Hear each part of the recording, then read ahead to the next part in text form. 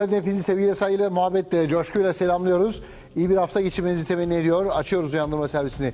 Hemen gelin bakalım başlıklarda neler var, neler olacak, neler bitecek bugün Türkiye'nin ve dünyanın gündeminde. Irak ordusu günlerdir beklenen operasyonla başladı. Gece Kerkük'ün güneyinden kent merkezine doğru harekete geçti. Operasyonun başlamasından kısa bir süre sonra da kentte geniş bir alanın ele geçirildiği duyuldu. Kerkük harekatının detaylarını birazdan sizlerle paylaşıyor olacağız. Aslanla süreci kapsamında İdlib'de bulunan Türk görev gücü de e, oradaki e, çalışmalarını gece gündüz aralıksız devam ettiriyor. Gözlem noktaları için istikam çalışmaları sürüyor. Bölgede en az 500 Mehmetçiğin konuşlanacağını bil- bildirelim, ifade edelim sizlere. Bugün Ankara'da iki önemli toplantı var. Hem Bakanlar Kurulu hem MGK toplantısı var bugün. E, MGK toplantısının kuşkusuz ki gündemi başlıca gündemi terörle mücadele olacak ve işte bu devam eden Irak'taki süreç olacak kuşkusuz ki ve Bakanlar Kurulu toplantısında da yine gündemdeki meseleler ele alınacak. Olağanüstü halin e, bir kez daha 3 aylığına uzatılacağını kararı bugün verilecek. Öyle anlaşılıyor ki Ankara onu konuşuyor. Somali'nin başkenti Mogadishu'da bir terör saldırısı tertiplenmişti. Bu terör saldırısında ölenlerin sayısı 276'yı geçti. Eşşebab'ın tertiplediği bu terör saldırısında ilk e, tabii ki e, Somali ile e, destek olan ülke Türkiye oldu. Onun da detaylarını sizlerle paylaşacağız. Bodrum'da, Muğla'nın Bodrum ilçesinde makilik alanda yangın çıktı. Alevler hızla yayıldı. Ormana sıçradı. Rüzgarın şiddetiyle yerleşim yerlerine doğru ilerleyen yangın 9 saatlik çalışma sonucu güçlükle kontrol altına alınabildi. Uyandırma servisi başladı efendim.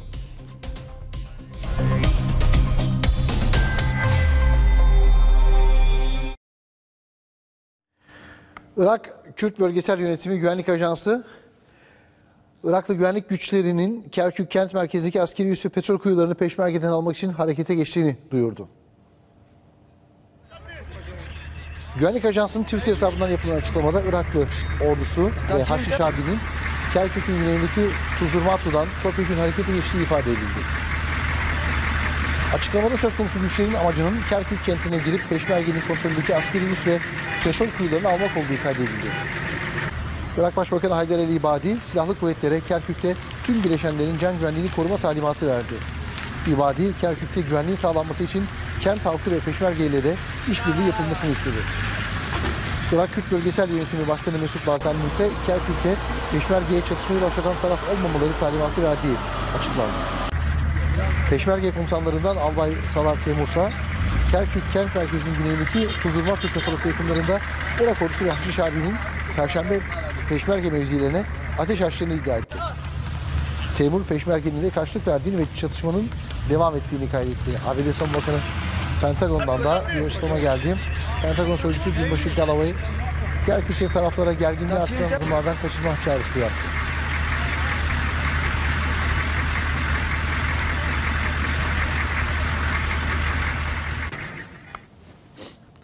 Irak ordusunun Kerkük operasyonu Türkmenler tarafından da kaygıyla izleniyor. Irak Türkmen Cephesi Başkanı Aşat Salih'i Kerkük'teki Türkmenlere seslendi ve kendilerini korumalarını istedi. Aşat Salih'i yaptığı görüntülü konuşmasında Türkmenlere seslendi. Birbirinizden haberdar olun. Tuzurmatu ve Kerkük çevresinde çatışmalar başladı.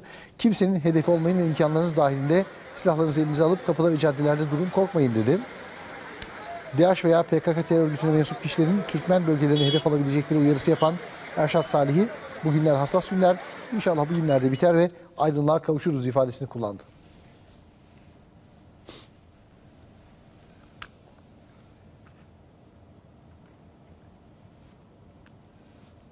Aslanlı süreci kapsamında İdlib'e giren Mehmetçik de gece gündüz çalışmalarını sürdürüyor.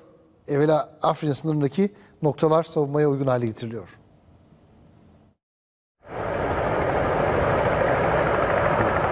Huzur getirmek için İdlib'e giden Mehmetçik bölgede çalışmalarını sürdürüyor.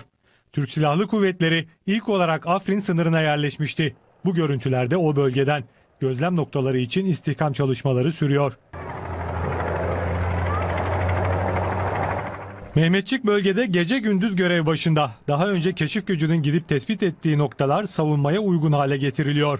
Burada öncelikli hedef PYD'li teröristlerin Afrin'den İdlib'e sızmasına engel olmak. Gözlem noktaları PYD'li teröristlerin Afrin'deki mevzilerine 3-4 kilometre mesafede. Türk Silahlı Kuvvetleri Astana sürecinde varılan anlaşmaya bağlı olarak İdlib'e girdi. İntikaller sürüyor. Bölgeye en az 500 Mehmetçik konuşlanacak. İdlib'in içinde TSK, dışında Rus askerleri olacak. Ana hedef rejim ve muhalifler arasındaki ateşkesi kalıcı hale getirmek, bölgeye insani yardımlar ulaştırmak, evlerini terk edenlerin geri dönmesini sağlamak, ardından da barışçıl çözüm için uygun koşulların oluşmasının yolunu açmak. Mehmetçiğin intikali sürdükçe güneye doğru yeni bölgeler oluşuyor.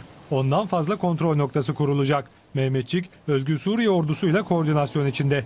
İddiaya göre Türk Silahlı Kuvvetleri İdlib yakınlarındaki Taftanas helikopter üssüne de girdi. Ancak bu bilgi doğrulanmadı. Bir başka iddiada Afrin sınır hattındaki güçlerin doğuya doğru ilerlemek için hazırlık yaptığı yönünde. İdlib halkı Mehmetçiği sevinç gösterileriyle karşılamıştı. Bu kez de Etareb ilçesinde Türk bayrakları açarak TSK'ya destek verdiler. Mehmetçiğe hoş geldiniz dediler. PKK Avrupa'yı teslim aldı desek herhalde çok da haksız e, sayılmayız. Çünkü birazdan size izleteceğim görüntüler. E, Paris'in ortasında hem de güpegündüz Fransa'nın resmi haber ajansı AFP'nin merkez binasından kaydedilen görüntüler. Binaya terörist başının posterini asıp hiçbir direnişle karşılaşmadan e, işgallerini bir saat kadar sürdürdü. PKK terör işte o işgal anları. Güpegündüz ellerinde bez parçalarıyla geldiler. Fransa'nın resmi haber ajansı Ajans France Press'in merkez binasını işgal ettiler. Terör örgütü elebaşı Öcalan'ın posterini binaya astılar. Avrupa'nın meydanlarına provokasyon çadırı kurdurdular. Avrupa Parlamentosu'nda PKK sergisi açtırdılar. Örgütün her türlü şımarıklığına izin veren Avrupa PKK'ya teslim oldu. AFP'nin Paris'teki merkez binasının önüne sloganlar atarak gelen PKK'lılar hiçbir engellemeyle karşılaşmadı. Teröristlerden bir bölümü binaya zorla girdi. Binanın üst katına çıkan PKK'lılar Öcalan posterini astı. Yasa dışı gösteri sırasında hiçbir güvenlik önleminin alınmaması dikkat çekti.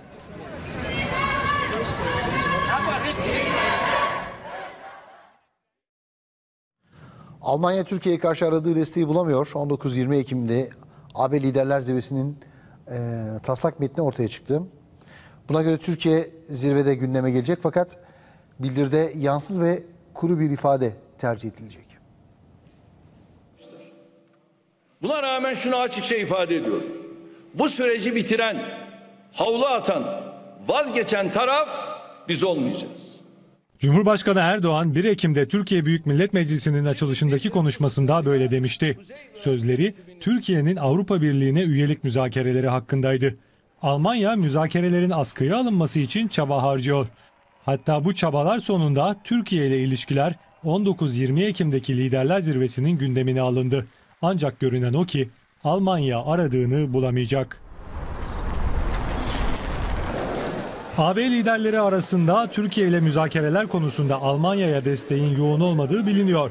Berlin'in yalnızlığı zirvenin taslak bildirgesinde şimdiden kendini gösterdi. Taslağa göre sadece AB konseyi Türkiye ile ilişkileri görüştü ifadesi kullanılacak. Tek cümlelik yansız vurgu AB içinde Almanya'ya destek olmadığının en somut göstergesi. Almanya Türkiye ile ilişkilerin askıya alınmasını talep ediyor. Avusturya, Danimarka ve Hollanda'dan destek görüyor. Buna karşı çıkan en önemli ülke ise İngiltere. İngilizlerin tutumuna Fransa, İtalya ve İspanya dahil 9 ülkeden açık destek var. Next, colleagues, we move to the Langen Almanya Başbakanı Merkel de son açıklamasıyla AB liderlerinden destek bulamadığını teyit etti. Zirvede Türkiye'nin AB üyeliği hakkındaki müzakerelere dair karar beklemediğini söyledi. Gelişmeler Başbakan Yardımcısı ve Hükümet Sözcüsü Bekir Bozdağ'a soruldu. Bozdağ Fransa'nın Strasbourg kentinde konuştu. Ve biz bu süreci her türlü olumsuzluğa rağmen sürdürmede kararlıyız. Ve süreçten Türkiye olarak geri çekilmeye niyetimiz yok. 15 Temmuz hain darbe girişiminin Akıncılar üstünde Adli Öksüz'le birlikte yönettiği belirlenen Kemal Batmaz savcılığa yeni bir ifade verdi ve burada Adil Öksüz'ü hatırladığını anlattı e, Kemal Batmaz'ın yeni ifadesi Amerika'dan gelen ve Pensilvanya'da kalacağını belirttiği belgeden sonra alındı. Adil Öksüz'ü görmedim, duymadım, tanımıyorum demişti. FETÖ imamı Kemal Batmaz'ın hafızası Amerika'dan gelen belgenin ardından yavaş yavaş yerine gelmeye başladı. Darbe girişimini Akıncı üstünden Adil Öksüz'le birlikte yönettiği belirlenen Kemal Batmaz, güvenlik kameralarına yansıyan ayan beyan görüntüleri için o ben değilim demişti. Amerika dönüşünde Adil Öksüz'le yan yana görüntüsü içinse tesadüf ifadesini kullanmıştı.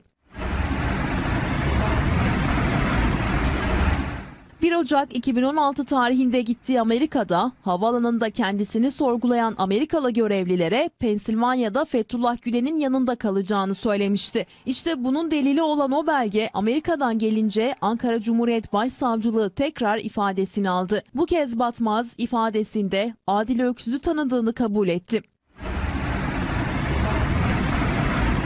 Adil Öksüz'ün kayınbiraderi Abdülhadi Yıldırım'la tanışıyorum. Yıldırım'ın yanında Adil Öksüz'ü bir veya iki kez görmüş olabilirim dedi.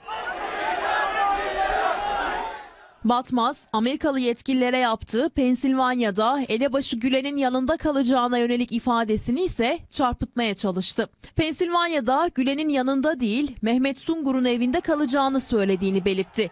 Kendisine neden Sungur'un adını vermedin diye sorulunca da fırsat olursa, götüren olursa Gülen'in yanına gitmek isterim dediğini iddia etti.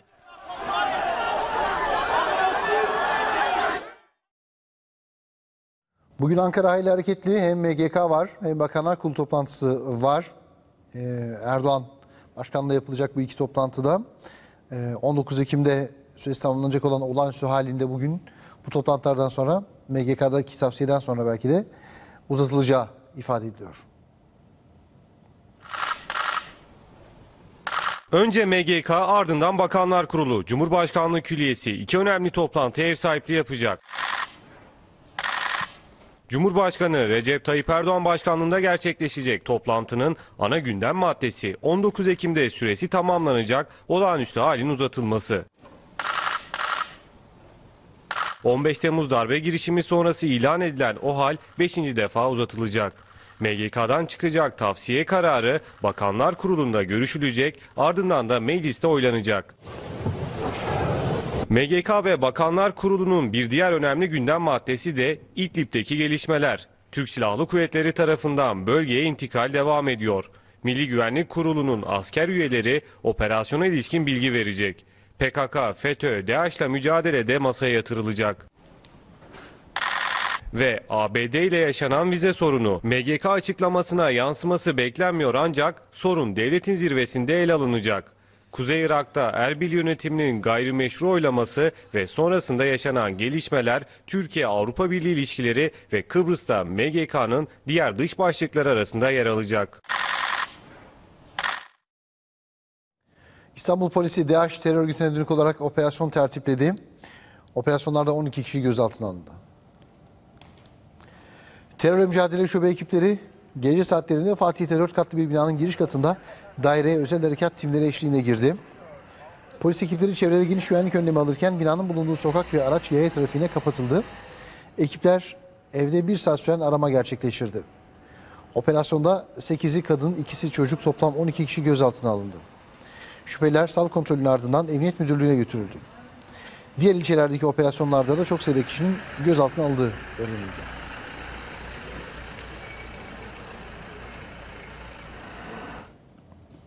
Somali'de bir terör saldırısı düzenlendi.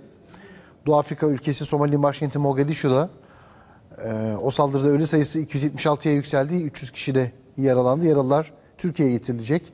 Türkiye'den bir ambulans e, uçak e, Somali'ye hareket etti. Mogadishu'da önce bir bombalı kamyon infilak etmişti. Kentin Enişek bölgesindeki saldırıda çok sayıda can kaybına ve büyük hasara yol açtı.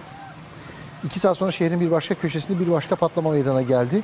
İlk aşamada 23 kişinin hayatını kaybettiği ifade ediyordu. Saatler ilerledikçe ölü sayısı arttı. Yetkililer can kaybının 276'ya yükseldiğini açıkladı. Yaralı sayısı da 300'e ulaştı. Ölü sayısının daha da artmasından endişe ediliyor. Olay ülke tarihindeki en kanlı terör saldırısı olarak kayıtlara geçti. Somali yetkililer El-Kaide bağlantılı Eşebab terör örgütünü sorumlu tutuyor. Ülkede 3 günlük ulusal yas ilan edildi. Türkiye'den bir askeri ambulans uçak ülkeye tıbbi yardım götürüyor. Ayrıca Somali'deki yaralıları da Türkiye'ye getirecek. Talimatı Cumhurbaşkanı Erdoğan verdi. Ardından Sağlık Bakanı Ahmet Demircan Somali'ye hareket etti. Sağlık Bakanı Türkiye'ye nakledilecek yaralıların koordinasyonunu yürütecek. Yaralıların 16 Ekim akşamı Türkiye'de olması bekleniyor. Başladı. Cumhurbaşkanı Erdoğan ayrıca Somali'deki mevkidaşı Muhammed Abdullah Fermacı'ya bir mesaj gönderdi. Mesajında Somali'deki bombalı saldırıyı kınayarak bölümler var. Türkiye terörizme karşı bir görüş Somali hükümeti ve kardeş Somali halkıyla dayanışma içindedir dedi.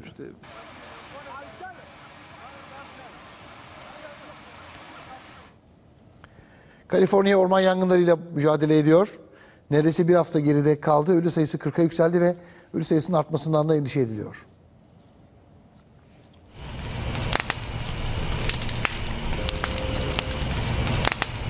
Bir haftadır yanıyor. ABD'nin Kaliforniya eyaletindeki orman yangını bir türlü tamamen söndürülemedi. Ölü sayısı da her geçen gün artıyor.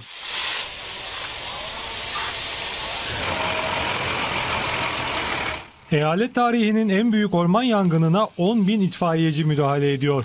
Rüzgarın yavaşlaması yetkilileri umutlandırdı. Çalışmaların kolaylaşması ve yakında alevlerin söndürülmesi ümit ediliyor.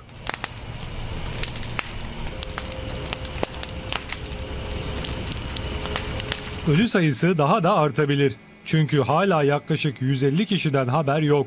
86 bin hektarlık yeşil alan ve binlerce ev küle döndü. Milyarlarca dolarlık zararı karşılamak da uzun zaman alacak. Evlerini terk eden 100 bin kişi de hala geçici barınaklarda bekliyor.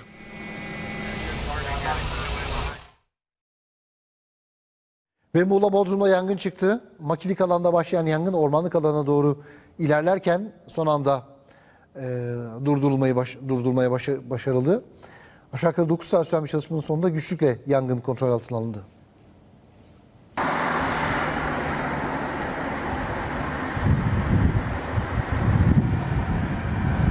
Makilik alanda başlayan yangın yerleşim yerlerine dayandı. Site sakinleri korkuyla kendilerini dışarı attı. Olmaz olur muyuz oğlum? Bu yangın bu. Sıçrar eder. Yangın Muğla'nın Bodrum ilçesine bağlı Turgut Reis ve Akyarlar mahallelerindeki makilik alanda başladı. Şiddetli rüzgar nedeniyle alevler kısa sürede ormanlık alana yayıldı.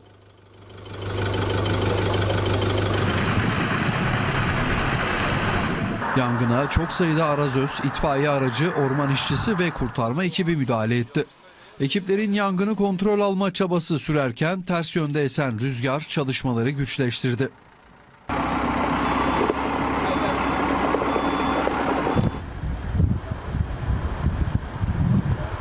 Alevler yerleşim yerlerini tehdit etmeye başladı.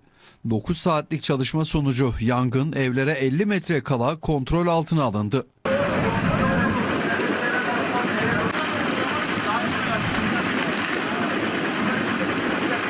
Yangında 50 hektarlık alan kül oldu.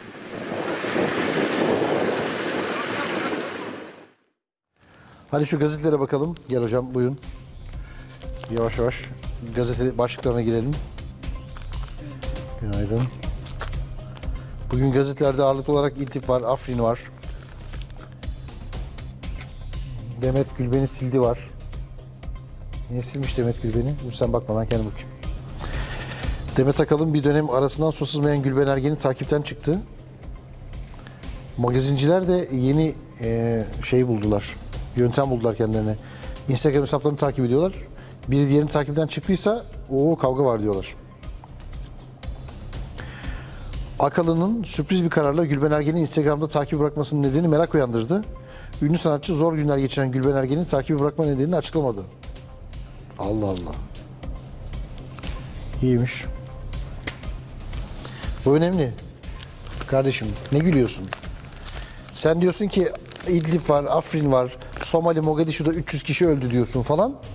Adam Gülben Ergen konuşuyor. Sana ne? Hiç birbirimize yalan söylemeyelim. Bir de şeyi konuşuyorlar. Murat Başoğlu'nun karısı konuşmuş. Ben kocamı seviyorum demiş. Biliyor musun Murat Başoğlu hikayesini?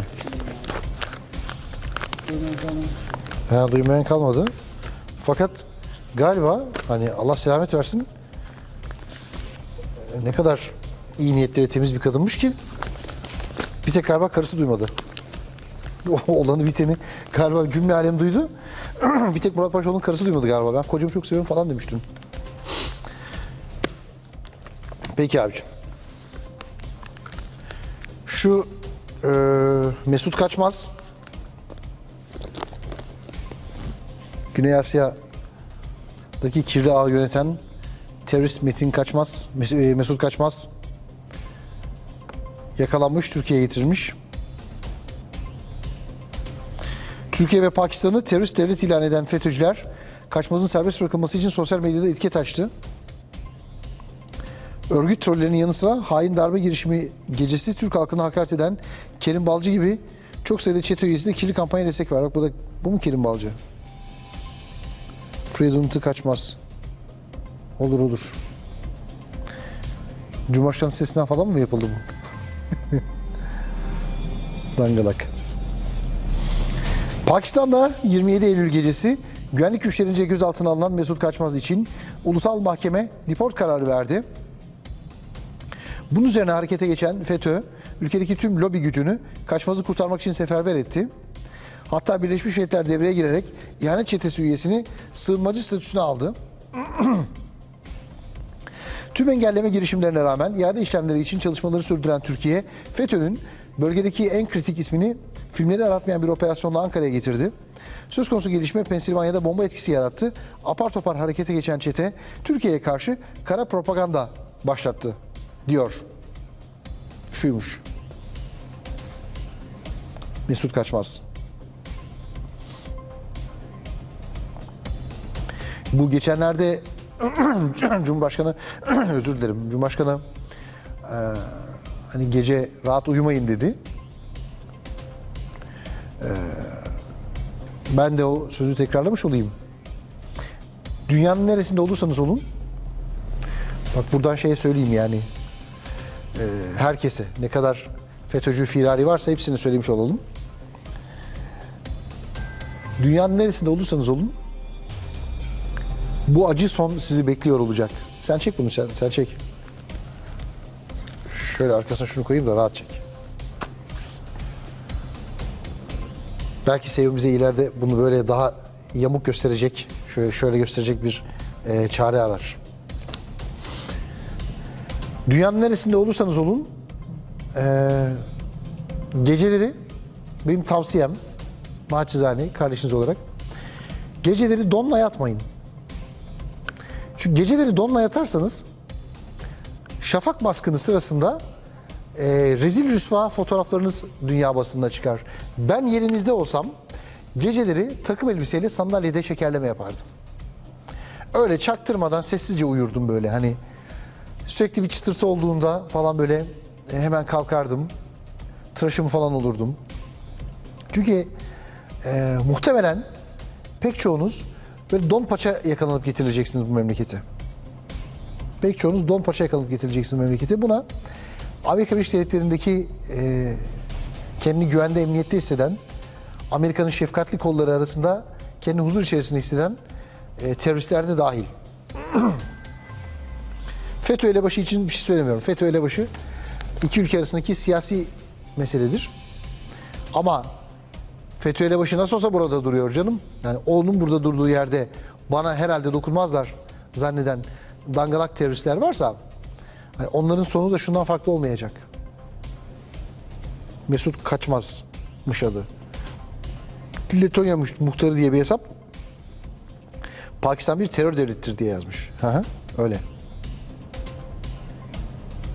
Kimin terör devleti olduğunu, kimin terörist olduğunu daha doğrusu herkes pekala biliyor.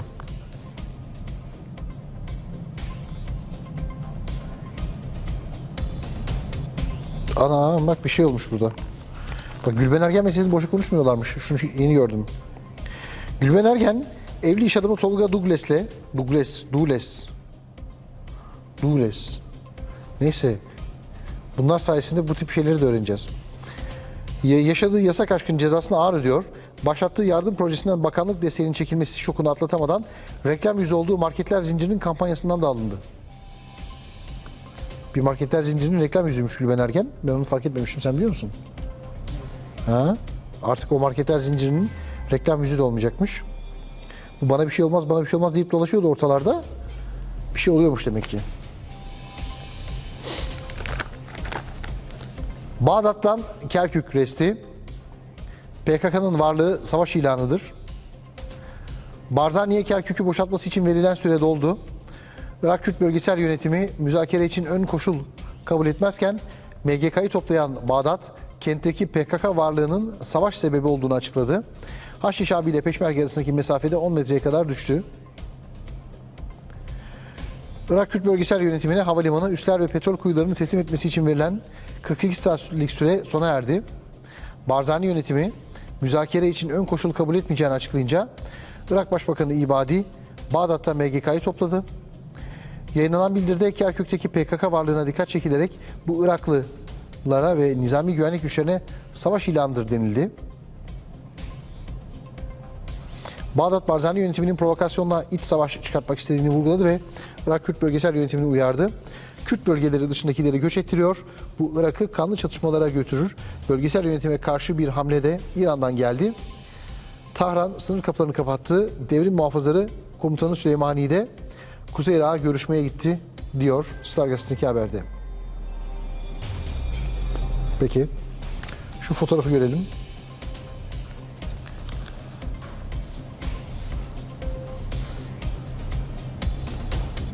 Evet.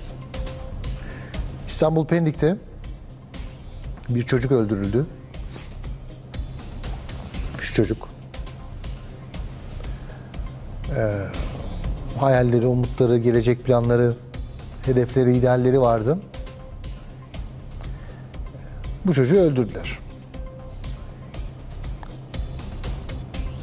Sokak ortasında sapığın teki ateş etti. Dün Başbakan e, Helin'in babasının yanındaydı. Birbirlerine sarıldılar, aldılar. Nihat Palandöken, acılı baba. Of, çok büyük acı ya. Yani hayatta imtihan olunabilecek en büyük acı herhalde bu. Olsa gerek evlat acısı. bir iki gazetede yani sırf böyle hani bir erkek tarafından bir kızın öldürülmesi ile ortaya çıkan bir tablo var ya. Bir iki gazetede şey gördüm hani kadına şiddet, kadın cinayeti falan filan gibi zırvalamayın. Saçma saçma saçma e, başlıkları atmayın.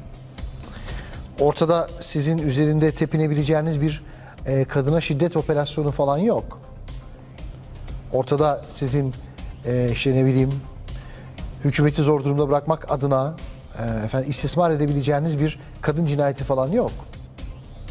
Bu çocuk bir kız çocuğu ve bu bir bu, bu kız çocuğu e, bir hasta tarafından vahşice katledildi.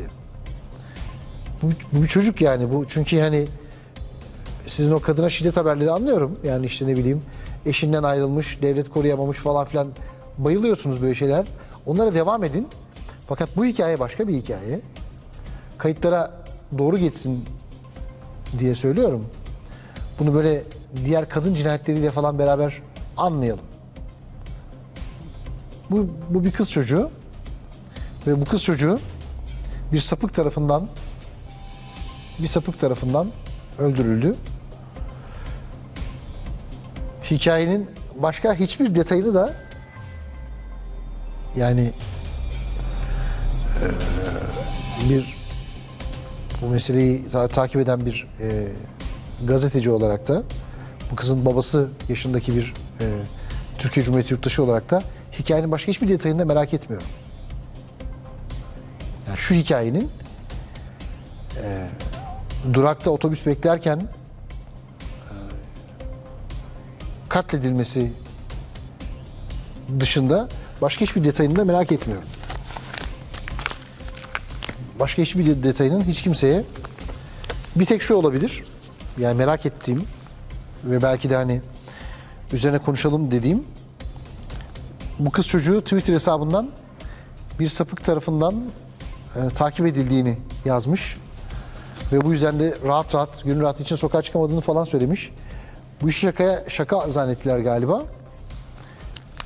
Ee, anne babaların birinci olarak anne babaların çünkü hani e, güvenlik güçlerinin falan bu işte ya da savcıların şunu bunu falan bu Twitter hesaplarını tek tek takip edip kim kendini emniyete hissetmiyor falan bakacak halleri yok. Ama anne babaların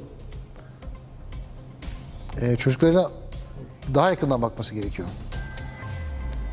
Yani bir sapığım var bu yüzden sokağa çıkamıyorum Ee, yazdığı anda Twitter hesabına bu çocuk anne babasının bu duruma müdahale etmesi gerekiyordu. Nasıl müdahale edeceğimi bilmiyorum.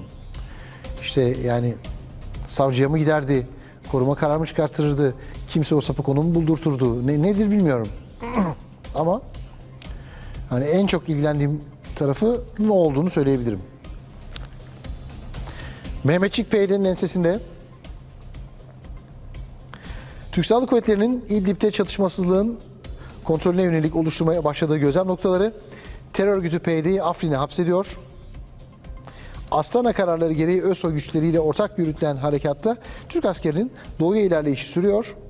Dün Afrin'in İdlib ve Halep'e olan bağlantı yolu tamamen kontrol altına alındı. Böylece terör örgütü PYD'nin lojistik hattına ciddi bir darbe vurulmuş oldu. Bilim Sanayi ve Teknoloji Bakanı Faruk Özlü Akşam Gazetesi'nden Pınar Işık Ardor'a konuşmuş. SİHA operasyonlarıyla ilgili flash detay veri tabanına sorup vuruyor diye yazmış haberde. Bakan Özlü CHP'nin piknik yapan siviller vuruluyor yaygarasıyla hedef aldığı SİHA'larla ilgili kara propagandaya son noktayı koydu. CHP'li vekiller bu bilgiyi bilselerdi madara olmazlardı diyen Özlü. İnsansız hava araçlarının görüntüleri aşağıdaki kontrol istasyonuna aktarılıyor ve veri tabanında sorgulanıyor. IFF de bize dost mu düşman mı olduğunu gösteriyor. En son bu bilgiler kıymetlendiriliyor ve vur emri veriliyor. Aksi olsa binlerce insan ölürdü diyor. Bilim Teknoloji Bakanı Faruk Özlü. SİHA'larla ilgili enteresan bir detay bu. Sivil kaybının eee sivil kaybının en aza indirilmesi hatta hiç olmaması için çok ciddi tedbirler alındığını anlıyoruz bu şeyle ilgili olarak. Hedefe yani vuracağı hedefi önce veri tabanına soruyormuş dost mudur düşman mıdır diye. Antalya Olimpos'ta bir acı kaza. Bir çocuk da burada öldü.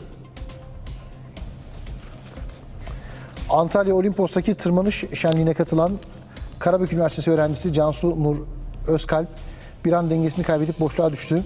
İpte asılı kalıp başını kayaya çarpan genç kız kaldırıldığı hastanede yaşamını yitirdi.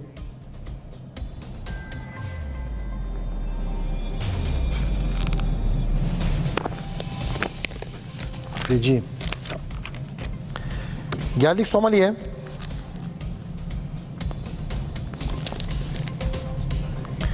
Bu Habertürk 231 yazmış ama ee, bizde son son rakamlar vardı az önce verdim haberini. Ekip 276 yazmıştı. 276'ya ulaşmış durumda şeyin e, ölü sayısı. Belki daha da artabilir. Burada çünkü büyük bir e, şey var. Büyük bir tablo var karşımızda. Somali tabii Avrupa'ya falan yakın değil. O yüzden böyle Pray for Mogadishu falan etiketleriyle e, Instagram'da falan böyle büyük kampanyalar falan görmeyeceksiniz. Böyle yer yerinden de oynamayacak. Muhtemelen işte Eyfel Kulesi de bu e, saldırıyı e, telin etmek için efendim ışıklarıyla oynamayacak falan.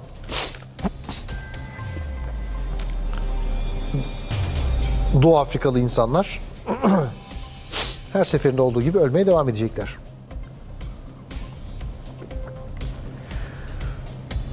Sadece şunu biliyoruz ki daha çok yeni Amerika'nın Ankara Büyükelçisi en son sevilmeyen adam ya da istenmeyen adam olarak memleketten kovulan John Bass giderken ne dedi? 9,5 aydır bu memlekette DAEŞ terör saldırısı olmuyorsa eğer bu DAEŞ'ın bu ülkede terör saldırısı gerçekleşmekten vazgeçmesinden kaynaklanmıyor. Bunun sebebi biziz dedi. Siz DAEŞ'ı ne bileyim işte Türkiye'de bu coğrafyada DAEŞ olarak okuyun da efendim Somali'de Eşşebap okuyun ya da ne bileyim başka bir takım e, işte Afrika e, kıtasının başka noktalarında e, Boko Haram olarak okuyun. Başka bir takım isimler altında okuyun. Herhalde bu da Amerikan Büyükelçisi John Bass'ın anlattığı denklemin içindedir.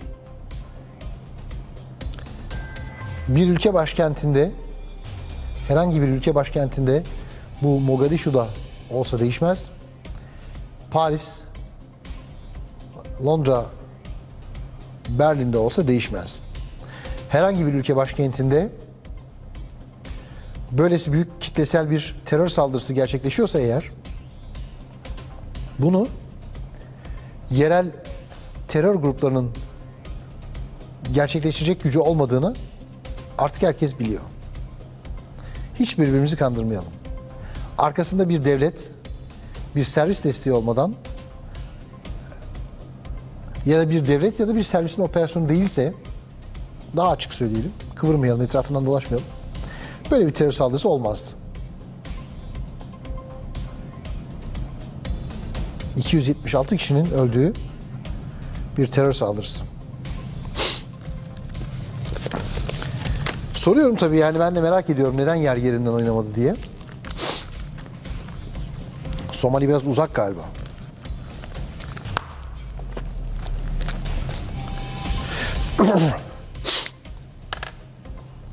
Afrin sınırında burun buruna İdlib'e giren Türk Silahlı Kuvvetleri unsurları terör örgütü PKK'nın Afrin'deki nöbet noktalarının 3 kilometre karşısına konuşlandı. Türk Silahlı Kuvvetleri'nin İdlib'deki Türk gözlem İdlib'deki gözlem görevi için bölgeye ulaşan istihkam birlikleri en hakim tepe konumundaki Baraket Dağı'nda üst kurma faaliyetlerini yoğunlaştırdı. İş makineleri gece gündüz çalışarak savunmaya elverişli mevziler oluşturdu. Türk askerlerinin İdlib'in kuzey kırsalında konuşlandığı bölge terör örgütü PKK'nın Afrin'deki nöbet noktalarının 3 kilometre yakınında yer alıyor. Bundan sonraki süreçte TSK rotayı güneye çevirecek ve İdlib'in merkezine geçiş başlayacak diye yazmış Sabah gazetesi.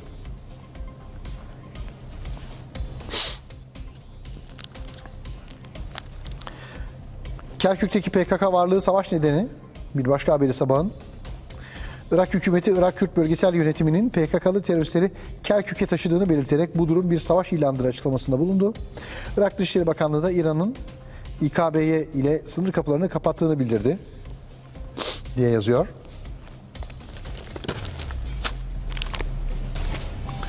Sabahın haberi.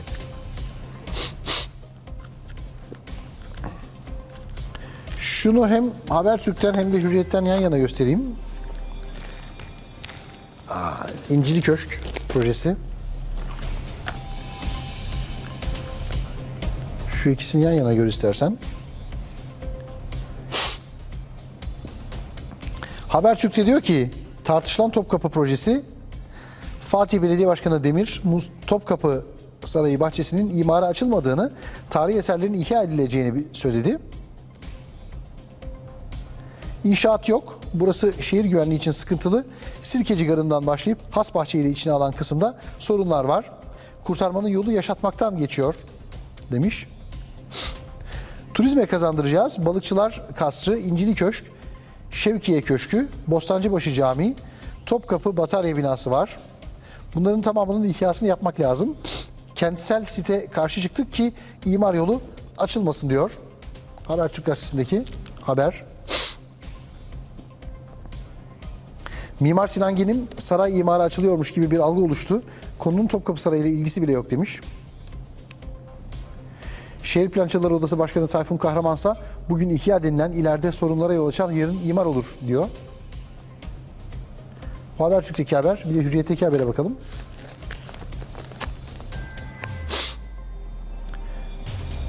1789'daki fotoğrafı koymuşlar buraya. Fatih Belediye Başkanı Mustafa Demir Topkapı Sarayı Hasbahçe'nin arkeolojik sit alanının birinci dereceden üçüncü dereceye düşürmesinin ardından yapılacakları anlattı. Temel yaklaşımların güvenlik problemi olan Hasbahçe'yi toparlamak olduğunu belirten Mustafa Demir, eskiden var olan köşk ve kasırların ihya edileceğini söyledi. Demir çalışmalar bitince yeniden birinci derece sit statüsüne yükseltilebilir demiş. İşte o proje diye de yazmış Hürriyet gazetesi.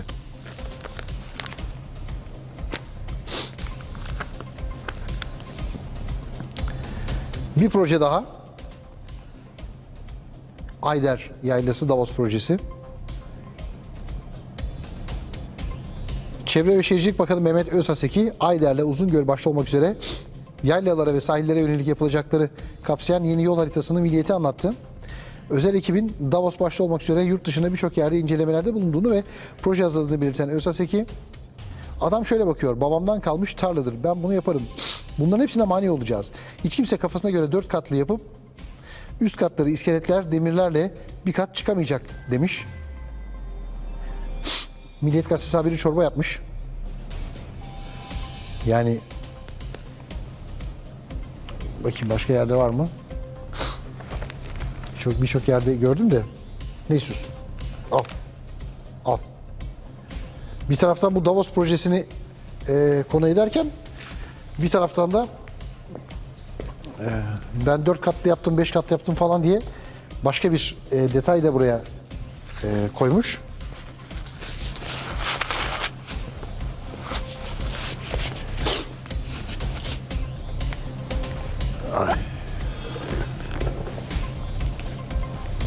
Bakalım başka ne var?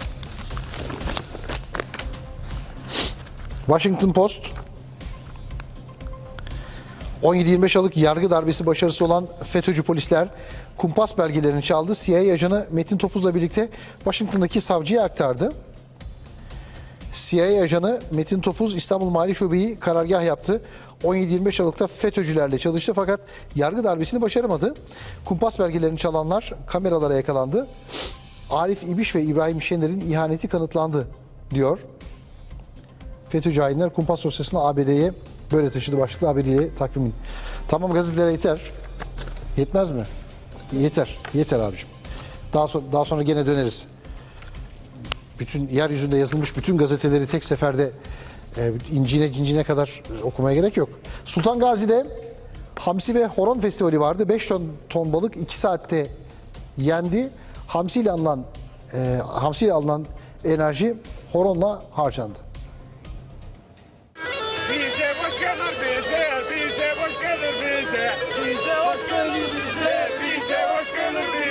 Evet şanslıyız alabildik. Afiyet olsun. Sağ olun teşekkür ederiz. Seviyor muyuz balık? Evet hamsi var dediler geldik yani. İkinciyi de aldık. Evet ikinci de aile bu. Kime bunlar? Bir tanesini anneme aldım. Izgarada balık, meydanda horon.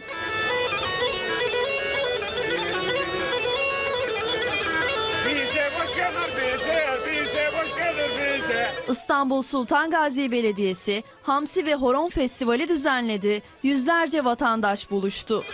Bize gelir bize, bize gelir bize, bize gelir bize, bize gelir bize. 5 ton hamsi hazırlandı. Sultan Gazi Belediye Başkanı Cahit Altunay da yardım etti. Çok şükür bugün hamsiyle doldu Sultan Gazi. Gördüğünüz gibi vatandaşa da önceden duyurulduğundan şu anda kuyruklar oluştu ama tamamına yetiştirebiliyoruz. Kolay gelsin. Teşekkür ederim. Ne sağ olun. yapıyoruz? 5 ton hamsiyi kızartıyoruz. Ee, e, mangalda ekstradan yağda pişiriyoruz. İnşallah halkı doyuracağız. Kuyruk uzadıkça balık yetiştirme telaşı iyice arttı. Oltam güzel. Herkes hamsiyi bekliyorlar yemek için. Siz de hazırlıyorsunuz yani. Daha duruyoruz. Balıklar pişti. İşte burası da en güzel noktalardan bir tanesi. Zira balıklar mangallara dizildi. Çıtır çıtır pişmeye başladı ve enfes kokuyor. Sıra ikrama geldi.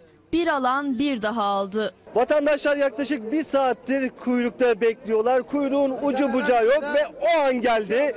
İşte balıklar yoğun şekilde dağıtılmaya başladı. Bir alan bir de almanın telaşında ve kuyruğun sonunda dediğim gibi şu anda görünmüyor. Afiyet olsun. Sağ olun. Kaç tane aldınız? Vallahi bir bebe, bir kızım aldım bir de kendim aldım. Şanslısınız alabilmişsiniz. Evet aldım erken sıraya girdim. Balık seviyor musunuz? Severim. Ufaklık seviyor mu? Oo, her hafta alır yerdir. Kaç tane aldınız? Üç tane hanımla çocuğu aldım. Bir tane de kendime aldım. Neredeler onlar? Evdeler. Eve mi götüreceksiniz? Evet. Balık alamayanlar beklemekte kararlıydı. Karadeniz kültürünü Sultan Gazi'ye en iyi şekilde temsil etmeye çalışıyoruz. Hamsiler yendi, sıra horona geldi. Karadeniz rüzgarı estiren festival 10 gün devam edecek. Bize hoş gelir bize, bize hoş gelir bize, bize hoş gelir bize, bize hoş gelir bize. Çin'de oyun oynarken iki duvarın arasına e, sıkışan bir çocuk için itfaiye alarma geçti. Güvenlik sebebiyle duvarı yıkamayan ekip çareyi zımpara ve sıvı yağda buldu. Koca okulda oynayacak yer bulamadı, kolonların arasına girdi. Meraklı kız çocuğu sıkıştığı yerden güçlükle kurtarıldı. Olay uzak doğu ülkesi Çin'de yaşandı. 6 yaşındaki çocuk oynamak için kolonların arasındaki boşluğa girdi. Ama çıkamadı. Başı orada sıkıştı. Şans eseri fark edildi ve itfaiye çağrıldı. İtfaiye onu kurtarmaya çalışırken annesi de yanındaydı. Küçük çocuk korkudan çığlıklar atıyordu. İtfaiye önce duvarı yıkmak istedi. Ancak yapamadı çünkü binanın yıkılma riski vardı. Akıllarına daha pratik bir çözüm geldi. Duvarı zımparalayarak az da olsa inceltmeye çalıştılar. Ardından çocuğun yüzünün sıkıştığı yerlere yağ döktüler ve böylece çocuğu oradan çıkarmayı başardılar. Küçük kız hala yaşadığı şokun etkisindeydi. Amerika'dan bir festival görüntüsü izleteceğim şimdi size. New Mexico eyaletinde bir balon festivaline gideceğiz.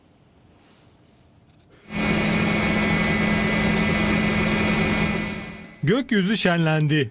Rengarenk, çeşit çeşit balonlarla bezendi.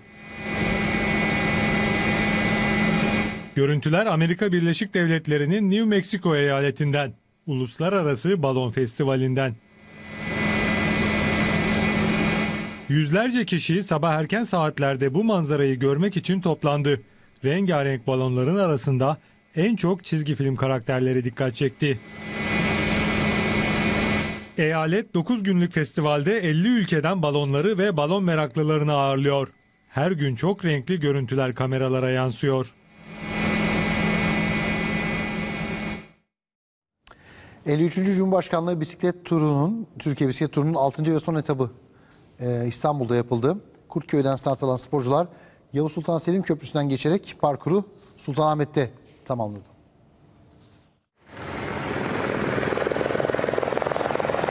Pedallar çevrildi, kıyasıya mücadele başladı. 53. Cumhurbaşkanlığı bisiklet turunun son etabı İstanbul'daydı. Yarışma 6 gün önce Alanya'da başladı. Yerli ve yabancı pek çok sporcu katıldı. Toplam 1023 kilometre kat edildi. Turun son etabında İstanbul için yarış Kurtköy'de başladı. Sporcular Yavuz Sultan Selim Köprüsü'nden geçti. Güzergahta basın ekspres yolu da vardı. 53. Cumhurbaşkanlığı bisiklet turu kapsamında sporcular İstanbul turunu devam ettiriyorlar. Şu dakikalarda sizler de görüyorsunuz basın ekspres yolunda geçiş yapıyorlar. Yarış Sultanahmet Meydanı'nda noktalandı. 53. Cumhurbaşkanlığı Türkiye bisiklet turunda Birleşik Arap Emirlikleri takımının İtalyan sporcusu Diego Ulissi şampiyon oldu.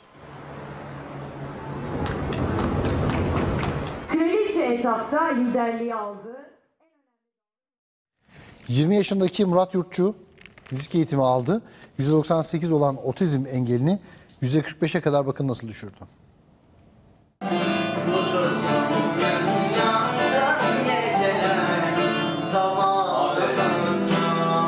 Tek kelime konuşamıyordu. Şimdi duyduğu her şarkıyı çalıp söylüyor.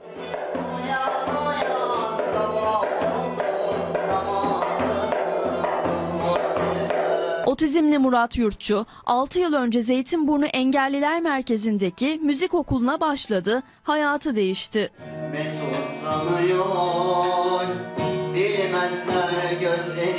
Otizmli Murat'ın kısa sürede yeteneği keşfedildi. Hızlı kavrama kabiliyeti sayesinde çaldığı enstrüman sayısı 10'a çıktı. Hiç konuşamazken engellilerin yer aldığı Akdem Müzik grubunda vokalist oldu. Hayalini kurduğu konservatuarı kazanabilmek için de müzik okulunu hiç aksatmadı.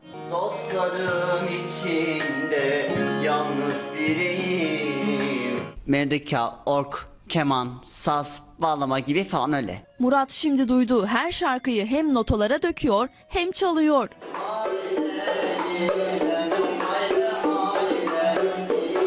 dikkatimi çekmemesi imkansız gibi bir şey oldu. Murat çok önemli bir yetenek benim için. Bütün öğrencilerim öyle ama Murat farklı bu yönde yani nasıl söyleyeyim kabiliyeti çok yüksek. En büyük destekçilerinden biri de müzik hocası Ümit Akkuş. Bugün dağların dumanı Aralandı hoş geldin Murat'ın enstrümanlardaki başarısı kadar sesi de dikkatlerden kaçmıyor. Gel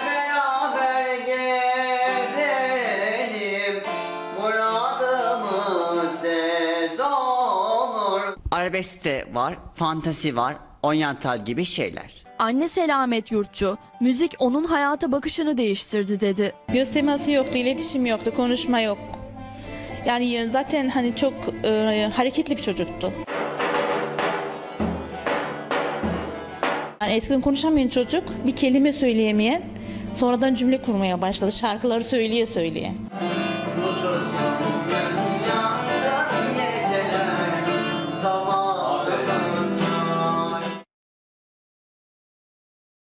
Nazilli'de bir mağazanın tavanından aşağıya kedi düştü.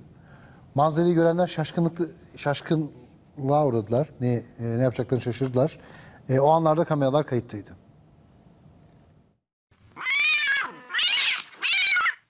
Tavandan kedi düştü, çalışanlar şaşkına döndü. Burası Aydın Nazilli'de bir giyim mağazası. Çalışanlar İsmail Yiğit ve Emre Acar müşteri bekliyordu. Tavandan bir kedi yere çakıldı. İki çalışan şoke oldu. Olup biten güvenlik kamerasına yansıdı. Kısa süreli panik yaşayan iki çalışan ürken kediyi yakalamaya çalıştı. Mağaza içindeki kısa bir kovalamacanın ardından kedi dışarı çıktı, kayıplara karıştı.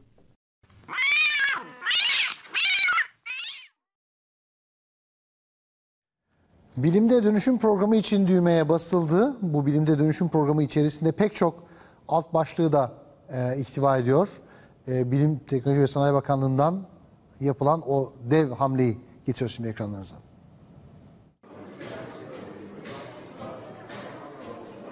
Milli robottan ARGE merkezlerine, teknik okullardan milli yazılımlara kadar birçok proje. Türkiye'nin teknoloji üssü haline gelmesi için Bilim, Teknoloji ve Sanayi Bakanlığı'ndan önemli bir adım geldi. Bilimde dönüşüm programı başlatıldı. Bilimde dönüşüm için kaynak da hazır. Bilim Sanayi ve Teknoloji Bakanlığı tarafından bilimde dönüşüm programı için 12 milyar liralık kaynak ayrıldı. Hedef küresel teknoloji devlerinin Türkiye'ye yatırım yapması. Meclise sevk edilecek tasarıya göre TÜBİTAK bünyesinde artık sadece ARGE yapılmayacak. Tüm araştırma merkezleri ve enstitüler TÜBİTAK'tan alınıp Yüksek Teknolojiler Araştırma Merkezi'ne devredilecek. Bilim teknolojileri odaklı teknoloji geliştirme bölgelerinin sayısı artacak. Türkiye'nin teknoloji üretme kabiliyetini yansıtacak milli robot yapılacak. Türkiye iletişim teknolojilerinde dünyaya açılmasıyla 30 milyar liralık cironun iki katına çıkarılması hedefleniyor. TR TES adı altında kurulan TES ve değerlendirme şirketi faaliyete geçecek. Türkiye'deki tüm teknoloji altyapısı buradan yürütülecek. Uyandırma servisi devam edecek bir yere ayrılmayın. Elinden geleni yani ya da işte sesinden geleni yaptı. Hala daha uyuyorsunuz. Söyleyecek bir şey yok. Hafta başladı artık. Öyle böyle işe gitmek ya da okula gitmek zorundayız. Ee, MFÖ'nün de dediği gibi mecburen, mecburen, mecburiyetten. Hepinizi bir kez daha sevgiyle saygıyla selamlıyoruz. İyi bir gün, iyi bir hafta geçirmenizi temenni ediyoruz. Okula giden kardeşlerimize Allah zihin açıklığı versin. İşe giden kardeşlerimizi de işini gücünü Allah rast getirsin. Dün Başbakan Binali Yıldırım ölümüyle Türkiye yasa boğan İstanbul Pendik'teki silahlı saldırı sonucu hayatını kaybeden Helin Palandöken'in ailesinin evindeydi, ailesinin yanındaydı. Babayla beraber birbirlerine sarıldılar, ağladılar. Kur'an-ı Kerim okundu, dualar edildi. İşte o anlar.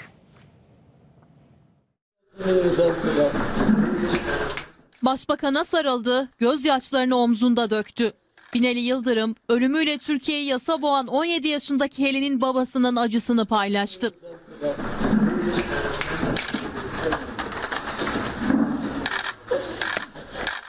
Sosyal medya hesabına gizli bir platonik sapığım var, sokağa çıkmaya korkuyorum yazmıştı. Kısa süre sonra o sapık tarafından okul çıkışında katledildi. Başbakan Binali Yıldırım Pendik'te Amine Hatun Camii'nin açılışına katıldı. 17 yaşındaki bir kız çocuğunu öldüren katile işte böyle lanet okudu.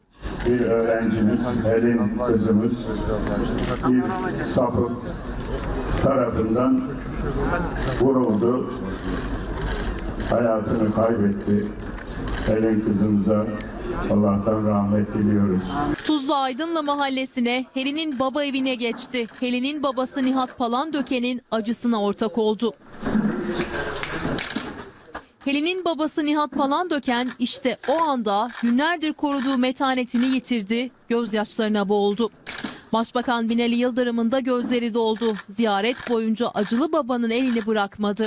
Derin bir acı. Allah daha böyle bir acılar yaşatmasın. Amin. Katil. Gözü dönmüş. İnsanlığı, onurunu kaybetmiş. Birisinin işlediği bir cürüm. Başbakanın ziyaretine Diyanet İşleri Başkanı Profesör Doktor Ali Erbaş da eşlik etti. Helin için Kur'an-ı Kerim okundu. Ardından dualar edildi. türlü kötülüklerden, felaketlerden, cinayetlerden Akademisyen maskesi düştü. Altından bombacı terörist çıktı. Terör örgütü e, propaganda suçundan görevlerinden alınıp tutuklanan sözlü akademisyenlerden Nuriye Gülmen hakkında bir itirafçı ifade verdi. Nuriye Gülmen Eskişehir'de düzenlenen bir eylem için bomba hazırladığını bomba e, ha- hazırladığını söyledi.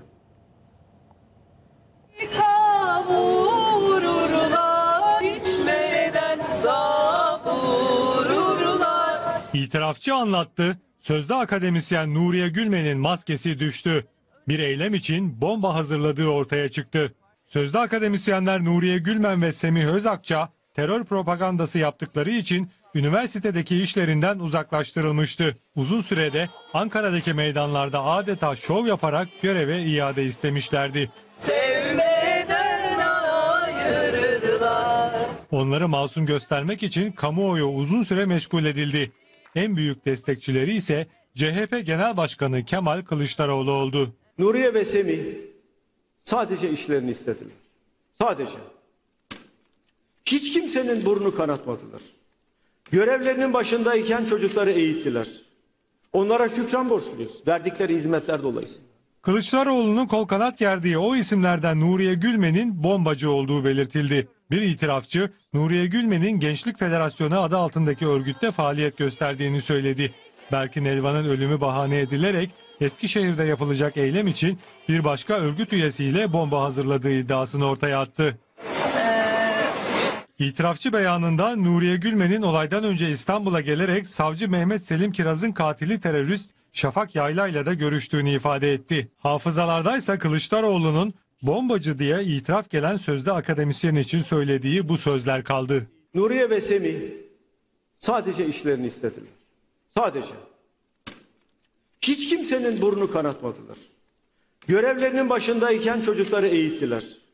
Onlara şükran borçluyuz. Verdikleri hizmetler dolayısıyla.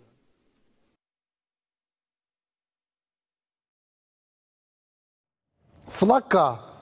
Ee, şimdi biliyorsunuz bu Batı e, bir ürünü piyasaya sürmeden evvel e, Hollywood üzerinden önce bir PR'ını yapıyor.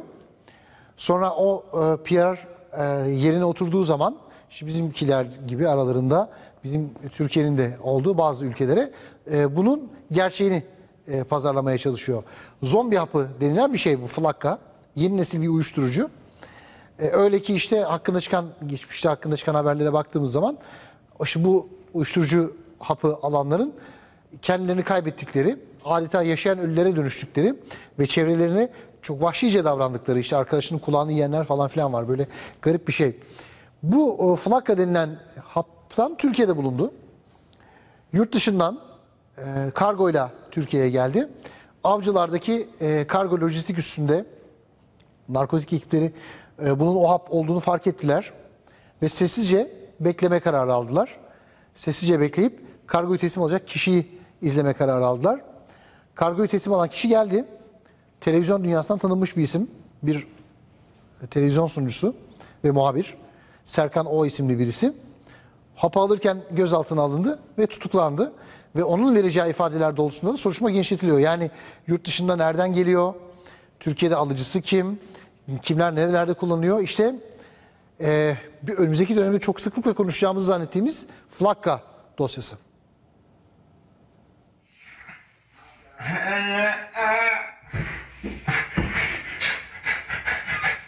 Dünyada hızla yayılıyor, kullananları adeta zombiye çeviriyor.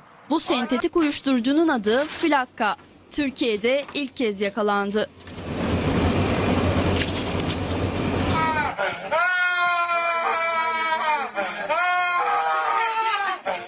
Narkotik köpekleri İstanbul Uluslararası Posta İşleme Merkezi'nde İspanya'dan gelen bir kargoya tepki verdi. Gümrük muhafaza ekipleri o kargoyu açtı.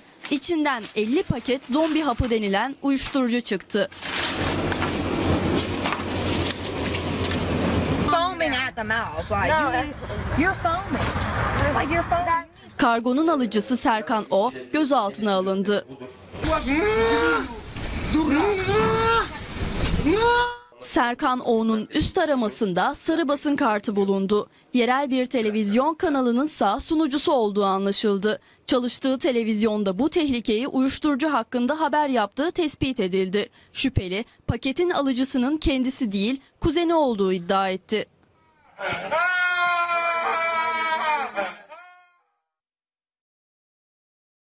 Ölüme meydan okuyan işçilerin tedbirsizlikleri zaman zaman ekranlarınıza getirdiğimiz, getirmeye devam ettiğimiz bir e, tablo. Şimdi izleyeceğiniz görüntüler Bağcılar'dan işçinin beline ip bağlayıp çatıyı tamir ettirdiler. O anları izleyenlerin yürekleri ağzına geldi. Beline ip bağladılar, çatıyı tamir ettirdiler. Görüntüyü bir vatandaş cep telefonuyla kaydetti. Çatı yapan vatandaş iş güvenliğini böyle alıyor. Burası İstanbul Bağcılar. Çatı tamiri yaptıran iki kişi bir yandan sohbet etti, bir yandan da işçiyi beline bağladıkları ipi tuttu. Yerden 10 metre yüksekteydi. Neyse ki korkulan olmadı. Geriye ise bu sözde iş güvenliği tedbiri kaldı.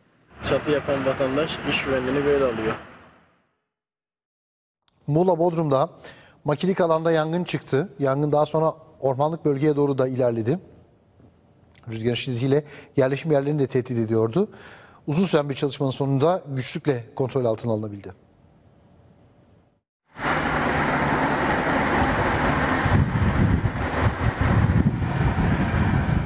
Makilik alanda başlayan yangın yerleşim yerlerine dayandı. Site sakinleri korkuyla kendilerini dışarı attı. Olmaz olur muyuz oğlum? Bu yangın bu. Sıçrar Yangın Muğla'nın Bodrum ilçesine bağlı Turgut Reis ve Akyarlar mahallelerindeki makilik alanda başladı. Şiddetli rüzgar nedeniyle alevler kısa sürede ormanlık alana yayıldı.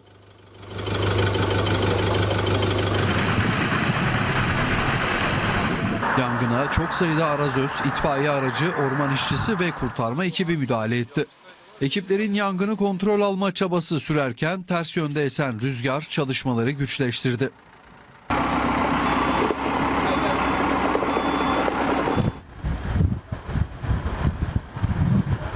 Alevler yerleşim yerlerini tehdit etmeye başladı. 9 saatlik çalışma sonucu yangın evlere 50 metre kala kontrol altına alındı.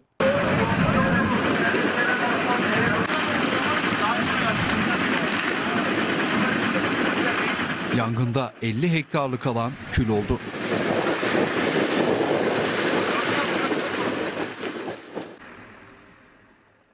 Hadi yerel gazetelere bakalım. Gel Fatih'im. Gel. Ay. Ne haber Fatih? Günaydın. Hadi bakalım neler olacak. Antalya Ekspresi manşeti. Başkan Menderes Türel esnafın sesine kulak verdi. Bugünden itibaren güzergahlar ve sefer sıklıkları ulaşım esnafının belirlediği şekilde gerçekleşecek. Antalya'da toplu ulaşımdaki sorunları çözmek için ulaşım esnafının teklif ettiği plan bugün uygulamaya geçiyor. Allah Allah. Ne oldu? Antalya komünizme geçti. Galiba. Enteresan, güzel. Çok seslilik iyidir bir yere kadar. Yani bir yerden sonra biz, biliyorsunuz yani lider e, to- toplumlarıyız. Ya böyle hani herkes aynı anda şöyle yapalım, böyle yapalım, şöyle yapalım, böyle yapalım falan der. Yolun yarısına kadar bu durum herkesin çok hoşuna gider ama en son birisi çıksın da son sözü söylesin diye bekleriz. Hadi bakalım ne olacak diye de belki neden olacak diye de belki o yüzden yazmıştır gazete. Antalya'da ulaşım esnafının yeni otobüs alınmasını sistemi biz yapalım sorun çözülür dediği uygulama Büyükşehir Belediye Başkanı Menderes Türel'in olur vermesiyle bugün başlıyor. Esnaf sorunlar çözülür deyince Başkan Türel tamam dedi bugün her şey belli olacak. Başkan Türel bu uygulamadan Antalyalıların memnun olacağını ümit ettiğini söylerken Oda Başkanı Yasin Aslan da belediye başkanına esnafın sesine kulak verdiği için teşekkür etti. Ne olacakmış onu daha anlamadık yalnız. Onu bugün Antalya'yı takip eden meslektaşlarımın geçecekleri haberlerle anlayacağız. Evet. Yok yok yukarı yukarı. Yukarı. Heh. Evet. Sen nerelisin? Ha iyi tamam. Var mı oralarda Trabzonlu? Durum, durum çok kötü. Vaziyet kel, acele gel. Ne oldu böyle ya? 6-1 nedir ya? 6-1 fena olmuş ya. Karadeniz'den Güne Bakış Gazetesi bırak git artık diyor da galiba zaten bıraktı. Dur bakayım. Bende sabah öyle bir haber vardı. Onun son dakikasını vereyim. Ee, Trabzonspor karar vermiş. Ersun Yanal zaten ee, gönderilmiş. Dün gece itibariyle. Ama zaten devam edemez herhalde ya. Akhisar Belediyespor'dan 6 gol. Çok çok geçmiş olsun. Bu yani 50. yılda şampiyonluk hedefiyle yola çıkmıştı Trabzon. Ee, Akhisar'dan 6 gol e, Trabzonların hiç beklemediği bir şeydi. Bakalım toparlarlar e, umuyorum. Ersun Yanal efsanesi de böylece galiba sona ermiş oldu. Öyle anlaşılıyor. Hep beraber göreceğiz. Peki. Niğde Hamle Gazetesi. Bol bol lahana yiyin. Dünyanın en sağlıklı yiyeceği her derde deva. Turşusunu da tüketin diyor. Canan Karatay. Bor Kaynarca Köyü 1. Lahana Festivali'ymiş. Ee, Canan Karatay'ın konuştuğu yer. Seyhun da bana kulaklıktan Niğde'li lahana ne alaka diyor da. Bak Bor Kaynarca Köyü Lahana Festivali yapılıyormuş zaten şu anda orada. Demek ki lahana o Bor için hani geçti Bor'un pazarı Süreşe Niğde'ye var ya oradaki işte e, Bor'un pazarı daha geçmemiş demek ki. Daha henüz oradan lahana satışı varmış. Lahananın turşusu dünyanın en önemli tıbbi malzemelerinden biridir. Kanser olmanızı önler, kalp hastası olmanızı önler, karaciğerinizin yağ- yağını giderir, şekeri düzenler, aynı zamanda Alzheimer'ı da önler, doğal probiyotiktir, bağırsaktaki dost bakterileri besler demiş. Lahana. Lahana nelere kadirmiş ya? Evet. Sevim diyor ki tıp fakültelerini kapatalım lahana satalım biz diyor. Bak dur daha bitmedi daha yeni başlıyor. Kışın bol bol lahana yiyin. Bol bol lahana çorbası için. Çocukları alıştırın bol bol lahana çorbası içsinler. O zaman hastalanmazsınız demiş. Canan Karatay. Elinde de bir tomar lahanayla. Yalnız şöyle buz gibi bir lahana turşusu böyle kütür kütür. Yani lahananın diğer her şeyi sarması falan da güzel olur da lahana sarması falan. Ee, ondan sonra ama böyle kütür kütür. Şimdi Didem evde kurmuş. Olmasını bekliyoruz. Olsun soğutacağız. Sonra kütür kütür onu yiyeceğiz. Ee, lahanayı severiz. Lahanayı selamlıyoruz. Malatya Son Söz gazetesi.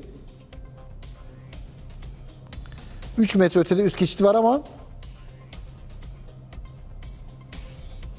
hiçbir uyarıyı dikkate almayan yayalar hızla gelen araçlara aldırış etmeden demir parmaklıkların her iki tarafına da dizdikleri kaldırım taşlarına basıp karşıya geçiyor.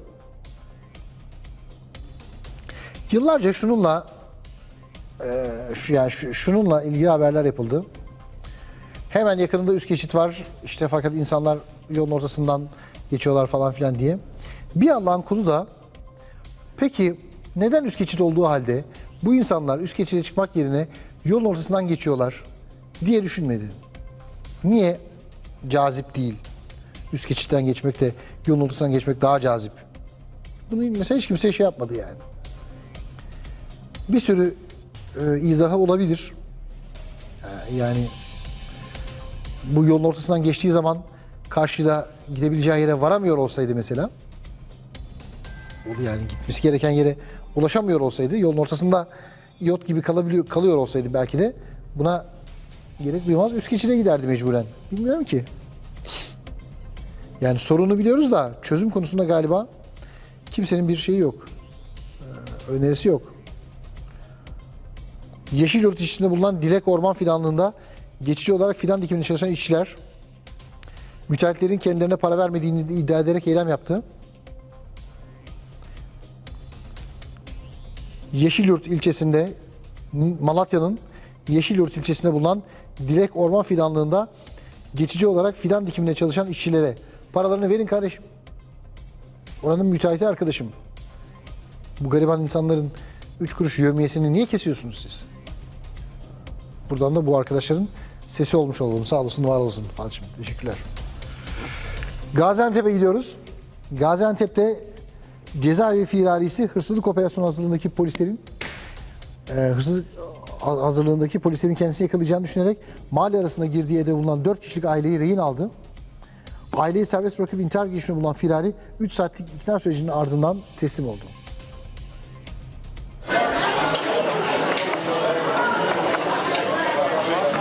Cezaevi firarisi girdiği evdeki aileyi rehin aldı, mahalle karıştı. Gaziantep'te cinayetten hüküm giyen Mesut'u bir yıl önce izinli olarak ayrıldığı cezaevine geri dönmedi. Polislerin başka bir operasyon için yaşadığı mahalleye geldiğini gören Mesut'u kendisini yakalayacaklarını sanıp kaçtı.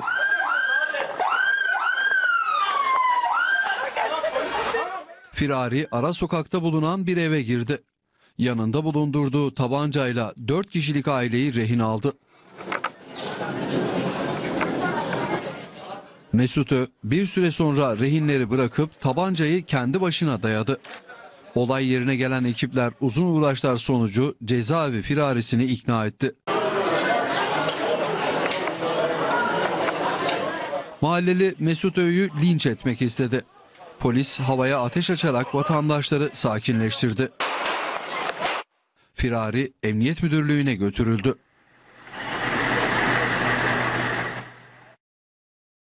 Antalya Kumluca'da kaya tırmanış şenliği sırasında dengesini kaybedip düşen 22 yaşındaki genç dağcı Cansu, Cansu Nur Özkalp yaşamını yitirdi. Genç dağcı kaya tırmanışında düştü. Ağır yaralı hastaneye kaldırılan Cansu kurtarılamadı. Antalya Kumluca'da gerçekleştirilen şenlik kapsamında tırmanış yapan Dağcılık Federasyonu Karabük temsilcisi Cansu Nur Özkalp dengesini kaybederek düştü. Arkadaşları durumu hemen sağlık ekiplerine bildirdi. 22 yaşındaki Cansu ağır yaralı olarak hastaneye kaldırıldı. Genç dağcı Özkalp yapılan tüm müdahalelere rağmen kurtarılamadı. Acı haberi alan Cansu'nun anne ve babası Antalya'ya gelerek kızlarının cenazesini aldı. Anne ve baba Özkalp ayakta durmakta güçlük çekti.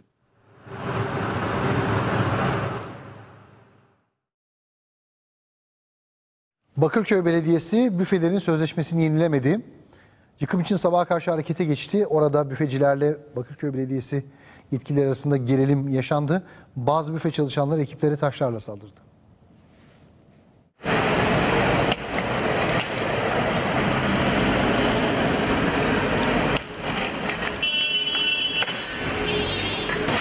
Sabaha karşı yıkım için geldiler. Neye uğradıklarını şaşırdılar.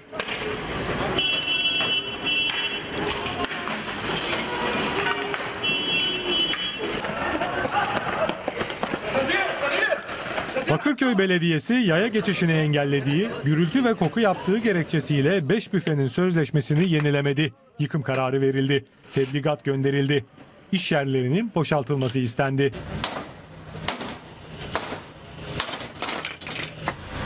Yani mahkemeye başvuramadık. Avukatlara bile başvuruyorum. Cuma günü olduğu için arada bir saat gibi bir fark vardı. Cumartesi pazar girdi ve bu şu an saat 3 gibi, 4 gibi işte şu an saat 4. Yıkıma geldiler.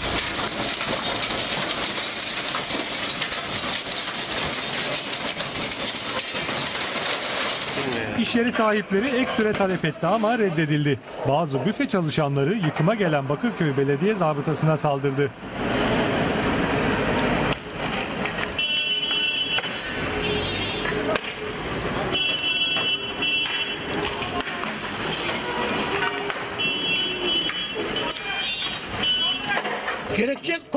Yapıyormuş, şey yapıyormuş. e, Ne bileyim insanlar yaya yolunu kapatıyormuş. Sıkıntı oluyormuş. Yani gerek, gerek şey falan yok. Bahane bizi buradan kaldırmak.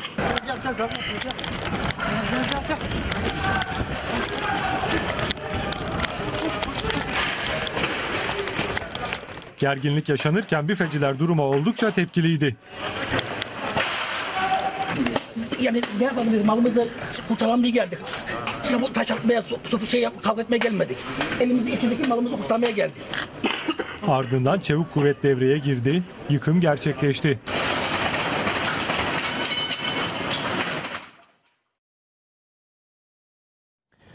Müşteri gibi davrandı. Anneme hediye alacağım diye girdi dükkandan içeriye. Kadıköy'de. E, dükkan sahibinin boş anını yakaladı ve tezgahtaki cep telefonunu çaldı. O anlar saniye saniye kameralarca kaydedildi. Müşteri gibi davrandı, cep telefonunu çaldı. Olup biten güvenlik kamerasına yansıdı. Kadıköy'de bir gümüşçüye giren hırsız, anneme hediye alacağım dedi. Dükkan sahibinin boş anını kovalamaya başladı. O fırsatı bulunca da tezgahın üzerinde duran cep telefonunu çaldı. Anneme bir hediye takı alacağım diyor. Bu bahaneyle telefon alıp çıkıp gidiyor. Soğukkanlı bir şekilde telefonu arka cebine atan hırsız uzaklaştı. O anlardaysa güvenlik kameraları kayıttaydı.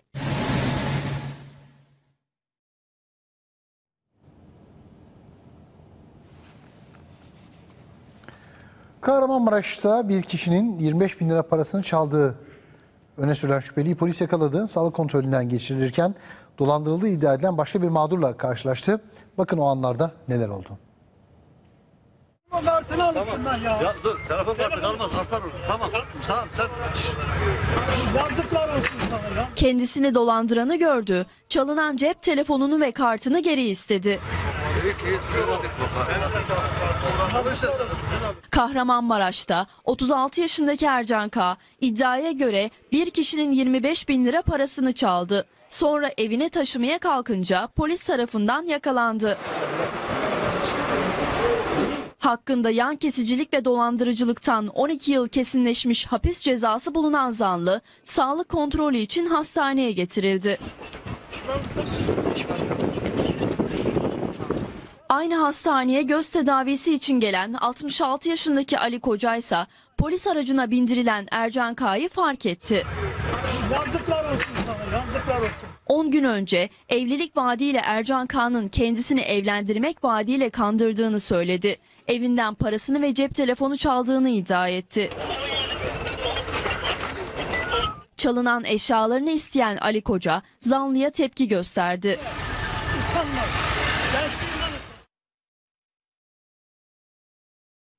Kastamonu'da bir otomobil evvela ağacı devirdi. Ardından elektrik direğine çarparak güçlükle durabildi. Araçta sıkışan iki kişi itfaiyenin çalışmasıyla sağ olarak kurtarıldı. Otomobil paramparça oldu. iki kişi şans eseri sağ kurtuldu. Burası Kastamonu'nun Alparslan Türkeş Bulvarı. Fethi Abay direksiyon hakimiyetini kaybetti. Otomobil yoldan çıktı, refüjdeki ağacı devirdi. Duramadı. Ardından elektrik direğine çarptı.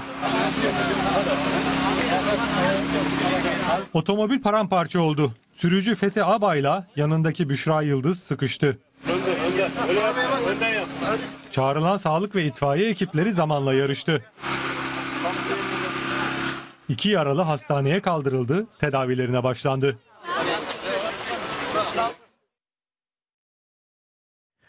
Bursa İnegöl'de bir kaza haberi alan itfaiye ekipleri olay yerine giderken yolda başka bir kazaya rastladı.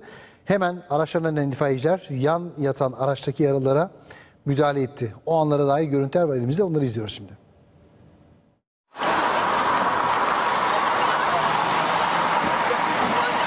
Kazaya yardıma giderken başka bir kazaya denk geldiler. Teyzem geç şöyle otur ya. Gelin otur. Bursa İnegöl'de itfaiye bir otomobilde sıkışan yaralıların olduğu haberini aldı. Ekip kaza yerine gitmek üzere hareket etti. Ancak yolda birkaç dakika önce takla atmış araç ve içinde mahsur kalanları görünce durdu. Orhan! Kesici kemer kesici. Yan yatan araçta yaralılar vardı. Önce yaralılar çıkarıldı. Sonra da vatandaşların yardımıyla yan yatan aracı düzeltti. Arabadan bıçak getir. Şu arabadan bıçak. Ekip diğer kazaya da müdahale etti. Bariyerlere çarpan otomobildeki o iki yaralıyı da kurtardı.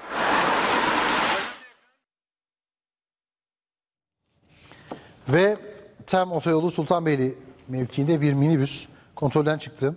Emniyet şeridinde duran otomobile çarptı. Üç kişi yaralandı. Otoyol kilitlendi. Kaza yapan sürücüler arasında tartışma çıktı.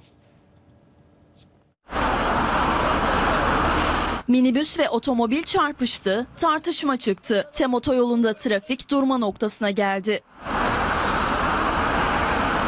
Sultanbeyli'de bir minibüs kontrolden çıktı. Emniyet şeridinde duran otomobile arkadan çarptı. Otomobil hurdaya döndü. İçindekilerden üçü yaralandı. Çağrılan ambulansla hastaneye kaldırıldı. Bu arada iki sürücü arasında tartışma çıktı. Emniyet şeridinin kenarında durduk biz orada. Bu adam arkadan bize vurdu. Şok olduk yani. Zaten yeni durduk. Adeta kilitlenen trafik kazaya karışan araçların kaldırılmasıyla normale döndü. İstanbul Tem Otoyolu'nda çalışma yapılırken gece geç saatlerde vinç devrildi. Vincin üzerine bulunan bir işçi hayatını kaybetti, bir de yaralandı. Tem otoyolunda vinç devrildi. Bir işçi öldü, biri de yaralandı. Metris kavşağındaki olay gece yarısı yaşandı. Bir aydınlatma direği arızalanmıştı. İşçiler vincin üzerine çıkarak tamir etmeye çalışıyordu. O sırada vinç aniden devrildi. Metrelerce yüksekten yere çakılan işçilerden biri hayatını kaybetti. Biri ise yaralı kurtuldu. Yaralı işçi çağrılan ambulansla hastaneye kaldırıldı. Kaza nedeniyle trafik yaklaşık 3 saat boyunca aksadı. Vincin kaldırılmasıyla normale döndü. Konya Beyşehir'de bir mobilya fabrikası alev alev yandı. İtfaiye ekipleri bu yangını güçlükle söndürebildi. Mobilya fabrikası cayır cayır yandı. İtfaiye seferber oldu.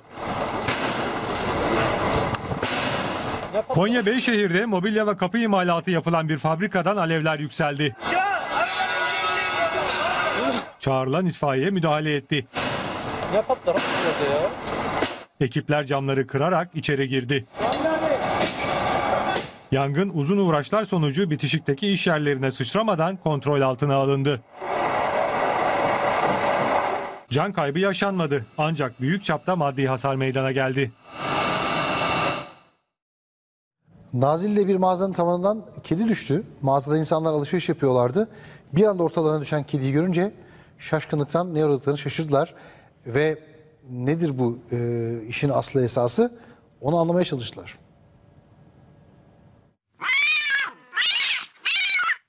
Tavandan kedi düştü, çalışanlar şaşkına döndü. Burası Aydın Nazilli'de bir giyim mağazası. Çalışanlar İsmail Yiğit ve Emre Acar müşteri bekliyordu. Tavandan bir kedi yere çakıldı. İki çalışan şoke oldu. Olup biten güvenlik kamerasına yansıdı. Kısa süreli panik yaşayan iki çalışan ürken kediyi yakalamaya çalıştı. Mağaza içindeki kısa bir kovalamacanın ardından kedi dışarı çıktı, kayıplara karıştı.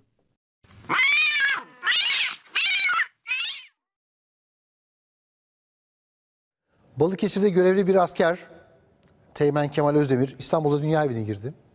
Düğüne katılamayan askerler komutanlarına bir sürpriz hazırlayarak, bir sürpriz video hazırlayarak jest yaptı.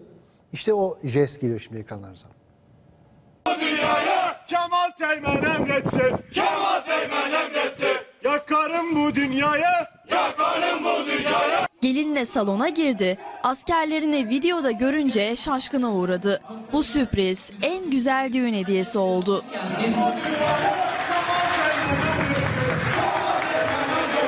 Askerlerin bu jesti davetlilere ve yeni evli çifte unutamayacakları bir anı oldu.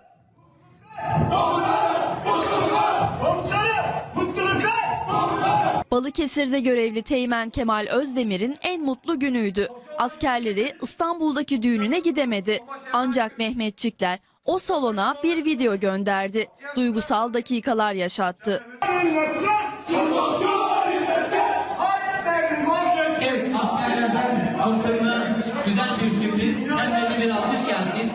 Askerlerin bu jesti davetlilere ve yeni evli çifte unutamayacakları bir anı oldu.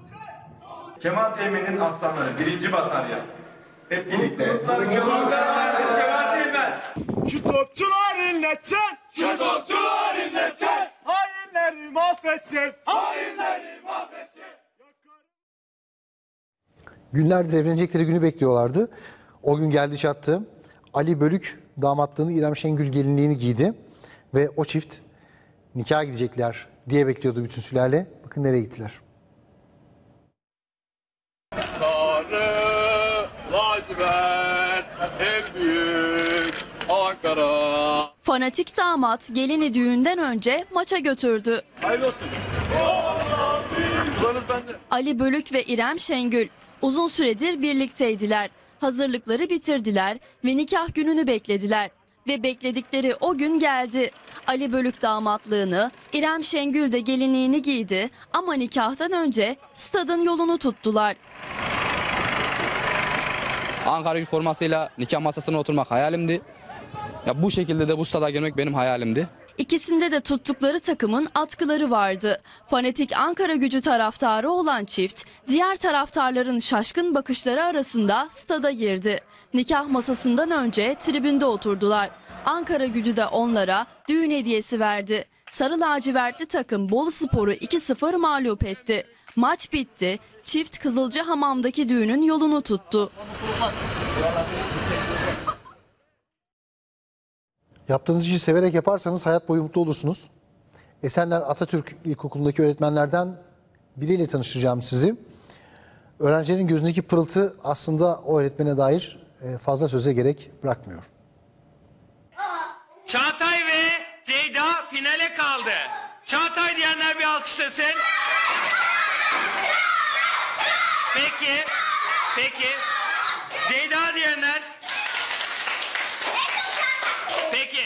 Soru geliyor. Sizin biraz heyecanınızı yatıştırmak için bunları so- sordum.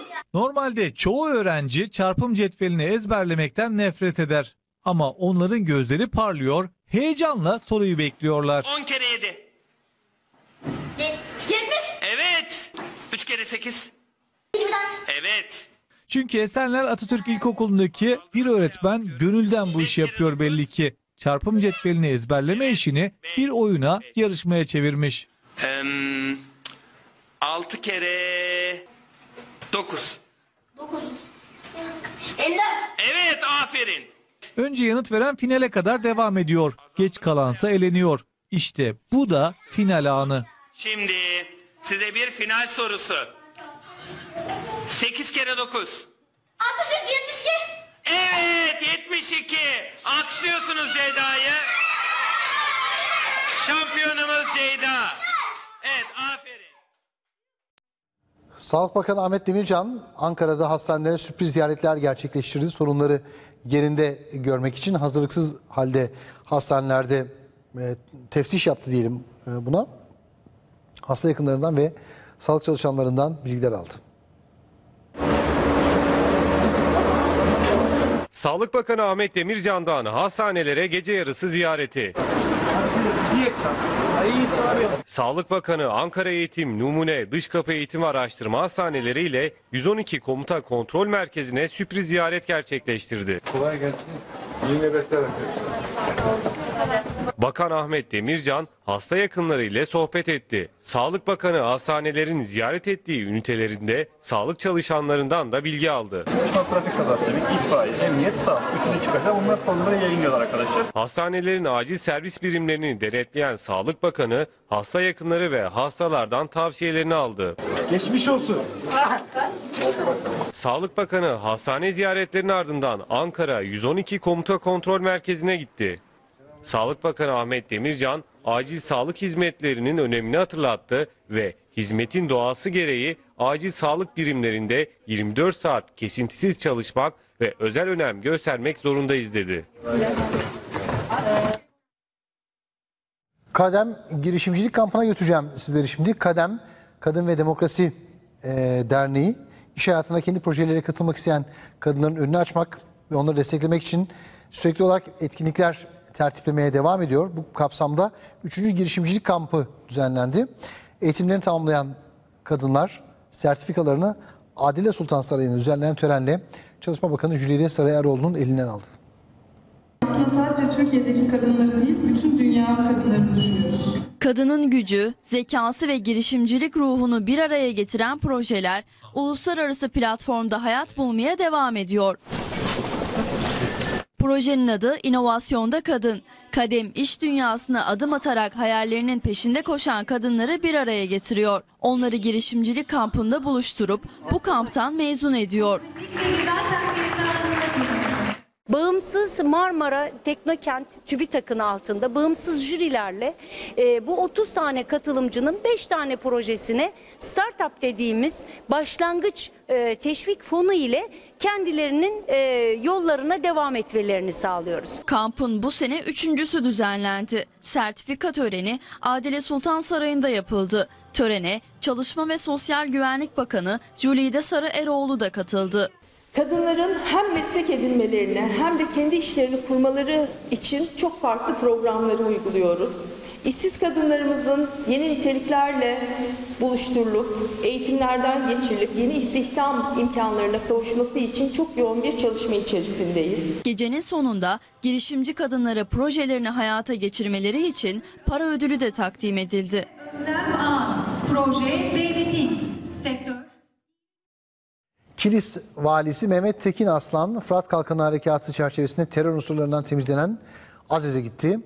Orada vatandaşla bir araya geldi. Bir camide namaz kıldı, cemaatle sohbet etti. Kilisli ve Azizli iş adamlarını bir araya getirdi beraberliğimizden, kardeşliğimizden ayrılmadığımız sürece ولا نزول ان شاء الله باخواننا وتواصلنا وصداقتنا بيننا Allah'ın izniyle yarın bugünden daha iyi olacak. Terör örgütlerinden temizlendi, huzur geldi. Fırat Kalkanı harekatıyla güvenli hale gelen Suriye'nin Azez ilçesini Kilis valisi Mehmet Tekin Arslan ziyaret etti. Vali Tekin Arslan, Meytem Camisi'nde namaz kıldı. Ardından cemaatle sohbet etti, sorunlarını dinledi.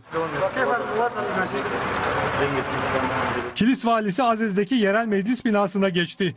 Burada Kilisli ve Azezli iş adamlarıyla bir araya geldi. Kilis'le Fırat Kalkanı bölgesinin arasındaki ticaretle ilgili tavsiyelerde bulundu. Bundan 15-20 gün bir ay sonra tekrar bir araya geliriz. Ve iki ticaret odası olarak bir teknik komite oluşturun. İşlerinizi takip edecek 3-4 kişilik. Yapılacak işlemleri buradaki vali yardımcımızla koordine halinde, bizlerle koordine halinde bu komite takip etsin. Vali Tekin Arslan, Kilis Azez arasında yapılan karayolu çalışmalarını da inceledi. Batmanlı Hülya ile tanıştıracağız sizi. Babası trafik kazasında öldü.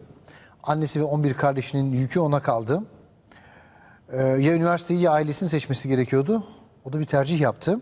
Ailesini seçti. Üstelik ailesini seçmekle kalmadı. Tüm ailesinin geçim yükünü de kendi omzuna aldı.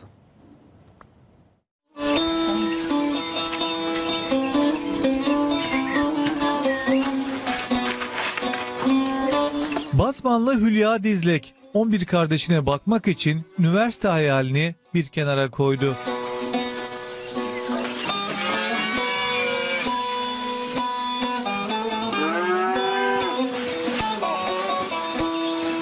Ders çalışıyordum kendi çabamda. E, babam vefat edince de biraz anneme yardımcı oldum daha çok. Batman'da da çalıştım. E, çocuklara baktım. Ama kardeşlerine nasıl bakacağını bilemiyordu. İmdadına Gıda Tarım ve Hayvancılık Bakanlığı'nın Genç Çiftçi projesi yetişti. Genç çiftçi projesini duydum. E, maddi durumumuz da iyi olmadığı için, yani bize bakan kimse olmadığı için e, başvurmaya karar verdim. O başvuru hayatını değiştirdi. Devlet 30 bin lira değerinde 6 büyükbaş hayvan hibe etti. Ailenin geçim kaygısı yerini sevince bıraktı. Onlarla inşallah e, geçimimizi sağlayacağız. Hani sütüyle olsun, peyniriyle olsun. Genç kızın bu çabası bir de ödül getirdi. Örnek çalışmalarla farkındalık yaratan kadın çiftçi seçildi. Böyle kızım olduğu için çok gurur duyuyorum. Allah ona razı olsun. Allah onu başımızda eksik etmesin inşallah. Hülya Dizlek ödülünü de Emine Erdoğan'ın elinden alacak. Üniversite hayali Hülya Dizlek'in içinde uhde kalmış. Bu yüzden de ne yapıp edip kardeşlerini okutacağını söylüyor.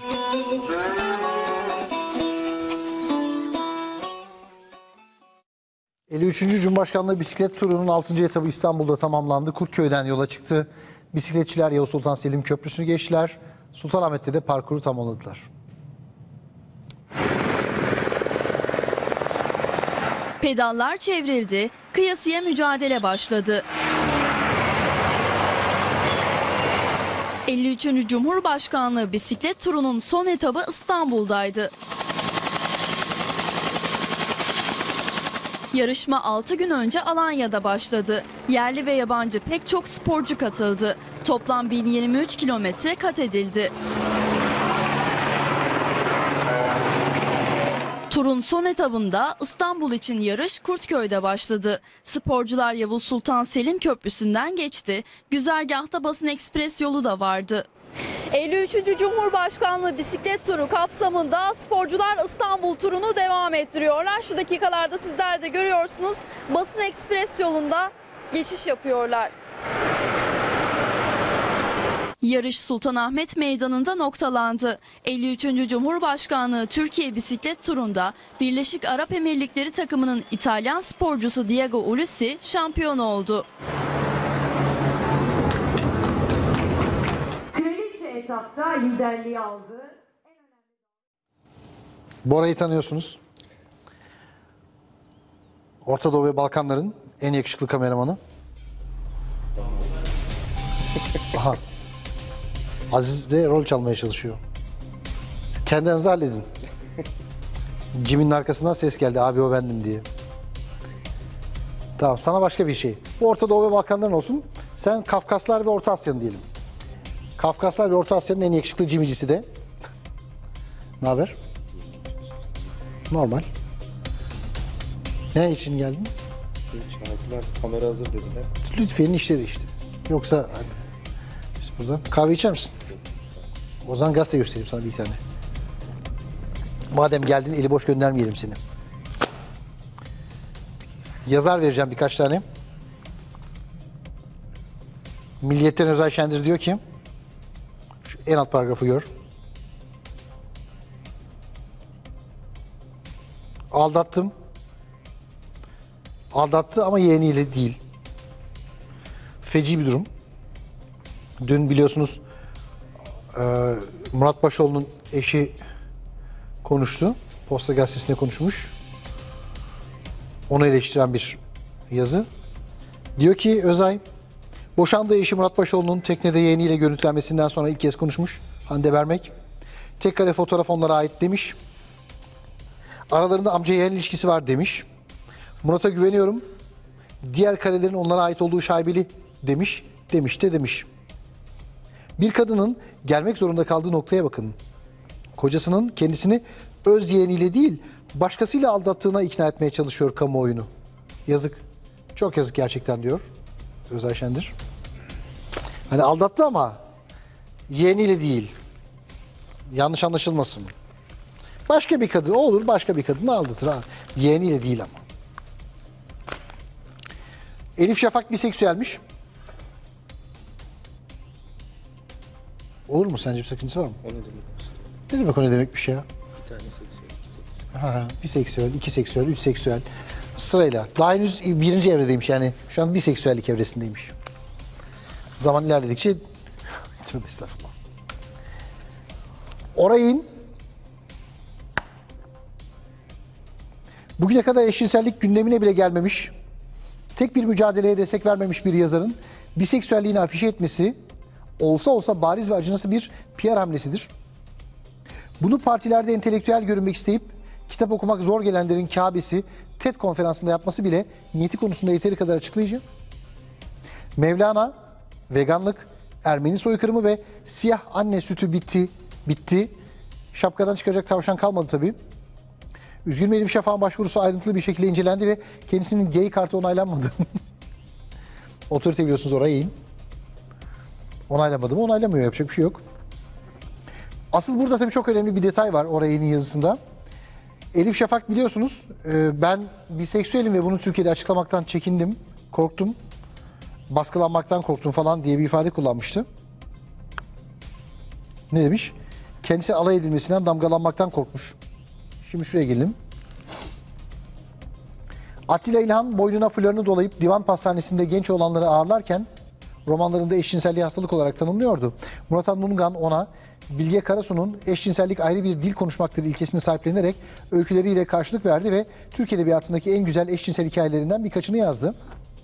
1992 yılında ilk kez lezbiyen aşk Türk romanına girdi. Sol entelektüel film tutkusundaki Yeşilçam bile bu konulara değindi. Selimileri 1977 yılında daha eşcinsellik moda olmadan her gece Bodrum'u yazmıştı. Şair Küçük İskender her türlü bedeli ödemek, dışlanmak pahasına en güzel şiirlerini erkeklere yazmayı sürdürdü. Ahmet Tulgar gerek edebiyatta gerek gazetecilikte eşcinselliğin politik bir mücadele olduğunu hep vurguladı.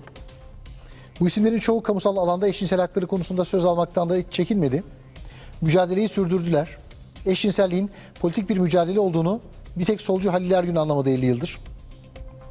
Her şeyi bir yana bırakın Cemil İpekçi sevgilisi Bekir'le yaşadığı iniş çıkışlar ana haberlere konu olurken Elif Şafak'ın dediğinin aksine karalama, alay ve damgalanmaktan hiç çekinmedi. Hala da Türkiye'de hayatını bildiği gibi yaşamaktan çekinmiyor. Türkiye eşcinsel hakları konusunda dünyanın en ileri ülkesi belki değil. Ama dünyanın en karanlık ülkesi de değil. Hayatı boyunca bu mücadelede olmamış birine buradan muhalefet malzemesi de çıkmaz. Çıkarmaya kalkanı Ayşe Kuli'nin Gizli Anların Yolcusu kitabıyla pataklamak gerekir diyor.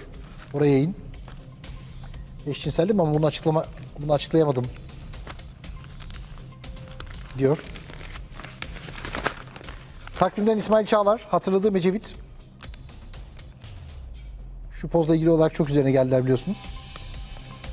Sonra Ecevit'in eşi hanımefendi açıklama yapmak durumunda kaldı. Benim kocaman temperyalisti falan diye. Tamam.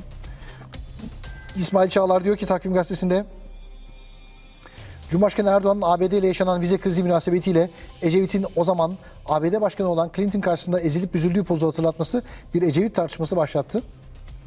Meğerse Ecevit pek Amerikan karşıtıymış, Kıbrıs harekatını yapmış öyle diyorlar. Benim hatırladığım Ecevit ise Amerika'dan ithal bakan getirip meclis kürsüsünden lütfen bu hanıma haddini bildiriniz diyordu. Tek cümle. Çok net bir şekilde derdini anlatıyor.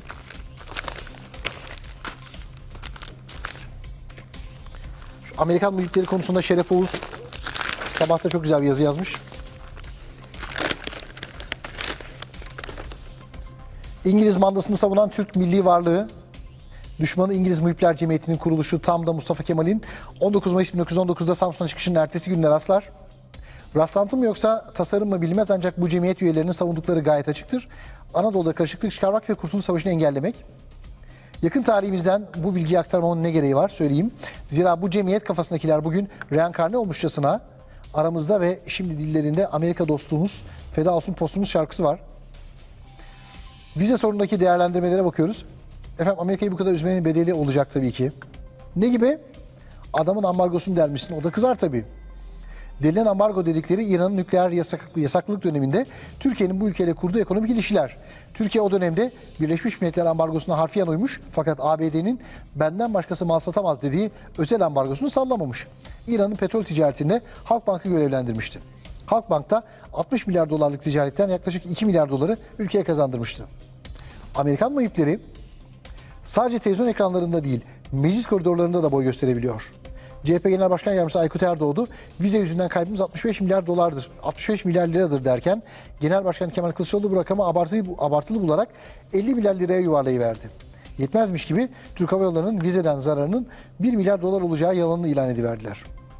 Ülkenin anlı şanlı akademisyenlerine bakıyoruz. Doktorasını Amerika'da yapmış olmanın heyecanıyla olsa gerek. Türkiye'nin ABD'yi sinirlendirmesi halinde bizim kaybedeceğimizi savunuyor. Buna hakkımız olmadığını söyleyebiliyorlar. Başka bir sözcü ABD'nin 80 milyon Türkiye'liyi değil yalnızca AK Parti ve Cumhurbaşkanı Recep Tayyip Erdoğan'ın cezalandırılması gerektiğini söyleyecek kadar densizleşebiliyor. Burada akla şu soru geliyor. Acaba ABD, Almanya, İngiltere veya benzeri bir ülkede kendi vatandaşı ülkesinin bekasına yönelik böylesi bir düşmanlık yapabilir mi? Misal Rusya'da bunu söyleyebilen ertesi gün kayıplara karışır. Almanya'da intihar ettirilir, Amerika'da ise yok edilir. Allah Türkiye'yi kendi ülkesini başkasına karşı aşağılayan yabancı ülke muhiplerinden korusun diyor Şeref Oğuz sabah gazetesinde. İki dakikamız var mı? O zaman bir de Hikmet Genç vereyim size temiz temiz. Vay. Bora'nın adamı. Hikmet Genç. Sen de ileride saçın bunu Hikmet Genç gibi yaparsın. Yavaş yavaş dökülmeye başladı abi. Öyle hayır. Hikmet Genç'in saçı döküldüğü için böyle olduğunu zannediyorsun sen. Hayır. Tarz olarak öyle yapıyor. Kendisi. Her sabah elinde usturayla sen yani başkası sen de değil tabii ki. Ben sakal tıraşı nasıl oluyorum? sen sakal tıraşı nasıl oluyorsun diyecektim. O da yok tabii. Hikmet'te saç tıraşı oluyor her sabah. Köpük köpük. Ankara, İstanbul ya da Bursa Belediye Başkanlığı'na aday olacağını söyleniyor. Doğru mu diye soruyorlar Muharrem İnce'ye. Muharrem yine ince bir mesaj gönderiyor. Bu haberleri CHP'liler yaptırıyor. Ben geçmişte bir iddiada bulundum. Genel başkan olmak ve bu ülkeyi yönetmek istiyorum. İddiamın arkasındayım ama 2019 seçimleri öncesi aykırı ses çıkarmamaya çalışıyorum. Ben iddialı bir siyasetçiyim. İddialarımdan vazgeçmiş değilim dedi. Mesaj gayet net. Aykırı bir ses çıkartmamaya çalışıyormuş ama CHP Genel Başkanlığı iddiası sürüyormuş Muharrem'in. Yani yenilmiş de yenilmiş, yenilmiş de yenilmiş ama iddiası devam ediyormuş. CHP'de adaylık için adalet yürüyüşü yapılsa ne iyi olur. Ama bu sefer daha çok şansı var gibi sanki. Muharrem CHP'nin genel başkanı olsa Kılıçdaroğlu da 2019'da Cumhurbaşkanlığına adaylığını koyar. Başbakan bir partiden, Cumhurbaşkanı başka partiden işte o zaman kavga çıkar. Paradoksu da yaşanmaz. Tabii önce Maraton Kemal'i ikna etmek gerekir. Önceki gün o da Nevşehir'den ince bir mesaj göndermiş. Nevşehir'in Kozaklı ilçesinde bir kahvede çay içip sohbet etmiş vatandaşlarla. Orada 11 yaşındaki Ali Gürbüz adında bir çocukla sohbet ederken şöyle demiş. Koltuğumu yeni nesillere vereceğim. Büyüyünce koltuğu sana vereceğim. Çok sevindirici bir haber. Kılıçdaroğlu koltuğunu yeni nesillere verecek. Muharrem yeni nesil sayılır mı bilmem. Evet yine ince bir mesaj var. Büyüyünce koltuğu sana vereceğim dediği çocuk 11 yaşında. Seçim yaşı 18 olduğuna göre 7 yıl sonrasını kastediyor. Yani anlayacağınız Kılıçdaroğlu en az 7 yıl daha o koltukta. Ya sistem değişikliği CHP, CHP nasıl yaradı gördünüz mü? Kampanya boyunca hayır diye o kadar yırtındınız. İyi ki evet çıktı da seçilme yaşı 18'e indi. Hayır çıksaydı 11 yaşındaki Ali'nin 25'e gelmesini bekleyecektiniz. Yani 14 yıl daha. Tabii 14 yıl sonra Muharrem hangi nesil olurdu o da başka bir mesele. Siz dua edin Erdoğan'a. Sana da geçmiş olsun Muharrem diyor. Hikmet Genç değerli izleyiciler. Teşekkür ediyoruz kardeşim. Sağ olasın. Çok kısa bir ara. Uyandırma servisi devam edecek. Bir yere ayrılmayın. Yine selamlıyoruz. İyi bir gün geçirmenizi temenni ediyor. Öyle açıyoruz uyandırma servisinin bu dilimini değerli izleyiciler. Irak ordusu dün beyanatta bulundu biliyorsunuz. PKK orada olduğu müddetçe e, savaş sebebidir bu demişti. Şimdi işte Kerkük'e dönük harekatına başladı ve devam ediyor. Belli ölçülerde de alan hakimiyetini elde etmiş e, durumda. E, Ke- Kerkük'te geniş bir alan şu anda Irak tarafından ele geçirilmiş gibi görünüyor. Irak ordusu günlerdir beklenen hamleyi yaptı. Kürtlerin kontrolündeki Kabil hava üssü ve petrol kuyularını ele geçirmek için güneyden Kerkük'e doğru ilerlemeye başladı. Operasyon başladıktan kısa bir süre sonra Irak ordusu Kürt peşmergelerle çatışmaya girmeden Kerkük'te çok geniş alanlarda kontrolü ele geçirdiğini duyurdu. Ordunun ayrıca Kürtlerin kontrolündeki tartışmalı bölgelere de girdiği bildirildi. Irak Başbakanı Haydar El İbadi, silahlı kuvvetlere Kerkük'te tüm bileşenlerin can güvenliğini koruma talimatı verdi. İbadi, Kerkük'te güvenliğin sağlanması için kent halkı ve peşmerge ile de işbirliği yapılmasını istedi. Irak Kürt Bölgesel Yönetimi Başkanı Mesut Barzani'nin ise Kerkük'te peşmergeye çatışmayı başlatan taraf olmamaları talimatı verdiği açıklandı. Peşmerge komutanlarından Albay Salar Teymursa, Kerkük kent merkezinin güneyindeki Tuzurmatu kasabası yakınlarında Irak ordusu ve Haşiş abi'nin peşmerge mevzilerine ateş açtığını iddia etti. Teymur peşmergenin de karşılık verdiğini ve çatışmanın devam ettiğini söyledi.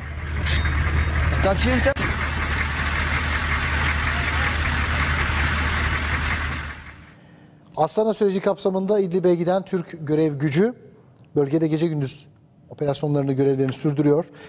Öncelikle Afrin sınır hattındaki noktalar savunmaya uygun hale getiriliyor.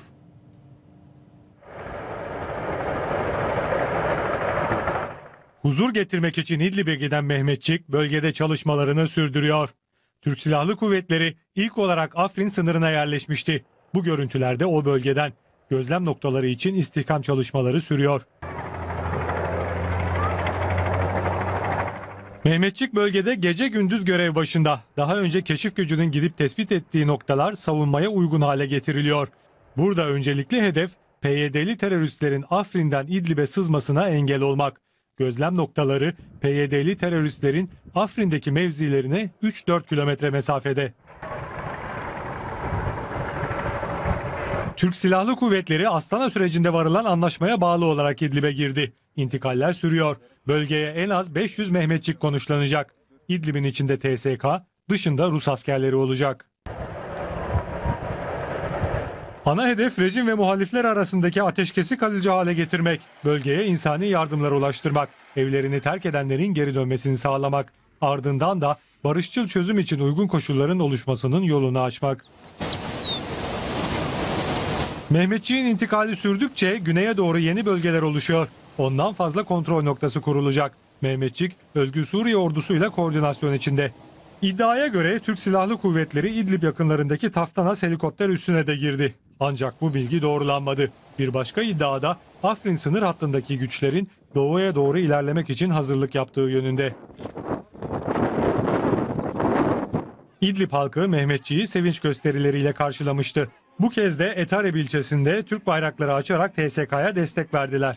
Mehmetçiğe hoş geldiniz dediler. Dışişleri Bakan Yardımcısının yardımcısı konumundaki bir isim. Dışişleri Bakanlığı'ndan müsteşar e, Jonathan Cohen, müsteşar yardımcısı daha doğrusu Avrupa Masası Şefi müsteşar yardımcısı Jonathan Cohen başkanlığında bir heyet bugün Ankara'ya gelecek. Heyet aslına bakarsanız Türkiye'ye gelişi daha evvelden planlanmıştı. E, yani işte bölgesel meselelerin değerlendirilmesi üzerine. Fakat tabii üzerine bu vize krizi geldi. Dolayısıyla şimdi bu heyetin Türkiye temasları muhtemel ABD-Türkiye arasındaki vize krizinin çözümü odaklı olacak gibi görünüyor. En son Amerikan cephesinden gelen açıklamayı hatırlayın. Birbirimize girmeyelim, birbirimize didişmeyelim. Ortak hedef, ortak düşman DAEŞ'tir demişti. Galiba bu çerçevede bugün Ankara'da temaslarda bulunacak Amerikalı heyet. Amerika'dan bir heyet Türkiye'ye geliyor. Heyete Dışişleri Bakanlığı'nın Asya ve Avrupa Masası Şefi olan Müsteşar Yardımcısı Jonathan Cohen başkanlık ediyor. Heyet krizin aşılmasına yönelik çalışmalar yürütecek. İstanbul Başkonsolosluğu çalışanı Metin Topuz'un FETÖ soruşturmasında casusluk gerekçesiyle Ekim'de tutuklanmasının ardından ABD Türkiye'den vize başvurularını askıya almış. Türkiye'de Amerikalılar için aynı kararı uygulamaya başlamıştı.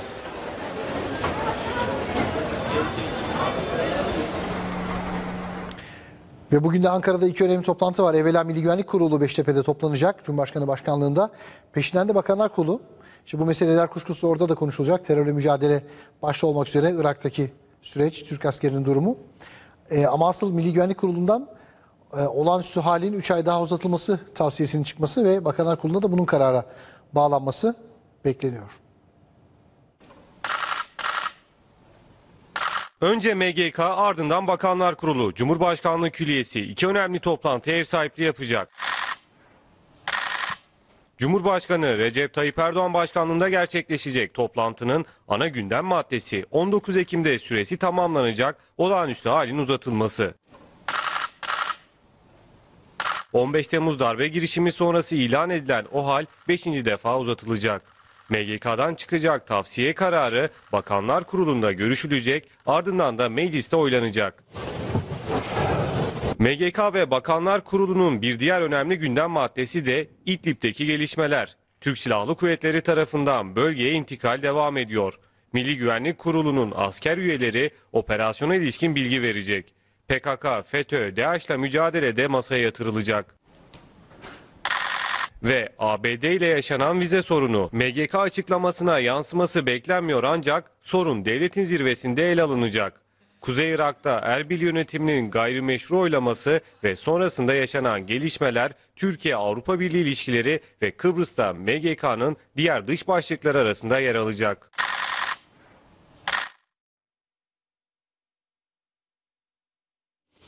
Bir son dakika notumuz var onu e, verelim. E, Genelkurmay'dan yapılan açıklama. Irak'ın kuzeyindeki PKK kampı ZAP'a dönük olarak yapılan bir hava harekatı e, var.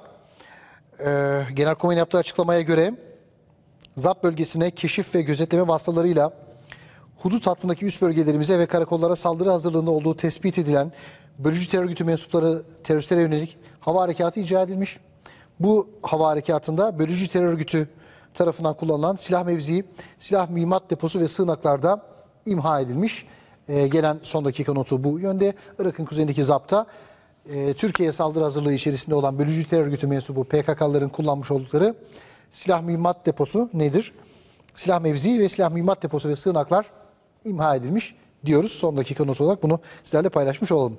MİT Emniyet ve Devlet Denetleme Kurulu birimleri Havelsan'da FETÖ ve diğer terör örgütleriyle bağlantılı personelin tespiti için bir çalışma başlattı. O çalışma sonunda FETÖ mensubu personeller tek tek tespit edildi. Kritik projelerde görev yapan 110 FETÖ'cü Havelsan'dan atıldı.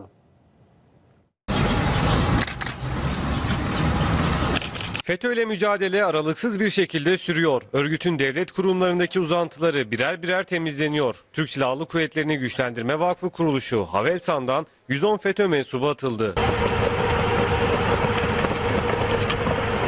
Çoğunluğu yazılı mühendisi yaklaşık 1400 kişinin çalıştığı Havelsan'da MİT, Emniyet ve Devlet Denetleme Kurulu birimleri personelle ilgili bir araştırma yaptı. FETÖ ve diğer terör örgütleriyle iltisaklı personelin tespiti için geniş bir çalışma gerçekleştirildi. FETÖ mensubu mühendislerin dünya çapında bilişim, savunma sanayi yazılımları, siber güvenlik, gemi komuta kontrol entegrasyonu gibi stratejik projelerde görev yaptıkları belirlendi. FETÖ ile bağlantıları ortaya çıkarılan 110 personel Havelsan'dan atıldı.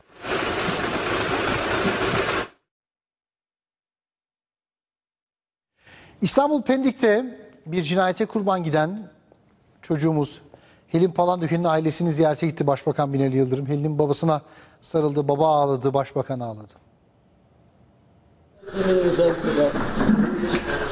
Başbakan'a sarıldı, gözyaşlarını omzunda döktü. Binali Yıldırım ölümüyle Türkiye'yi yasa boğan 17 yaşındaki Helen'in babasının acısını paylaştı.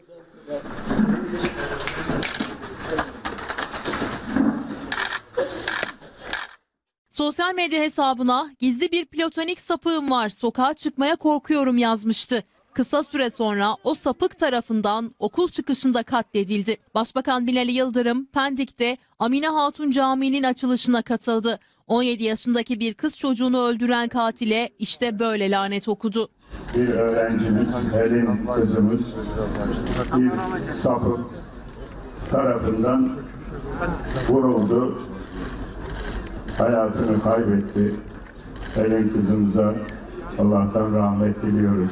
Tuzlu Aydınlı mahallesine Helin'in baba evine geçti. Helin'in babası Nihat Palandöken'in acısına ortak oldu.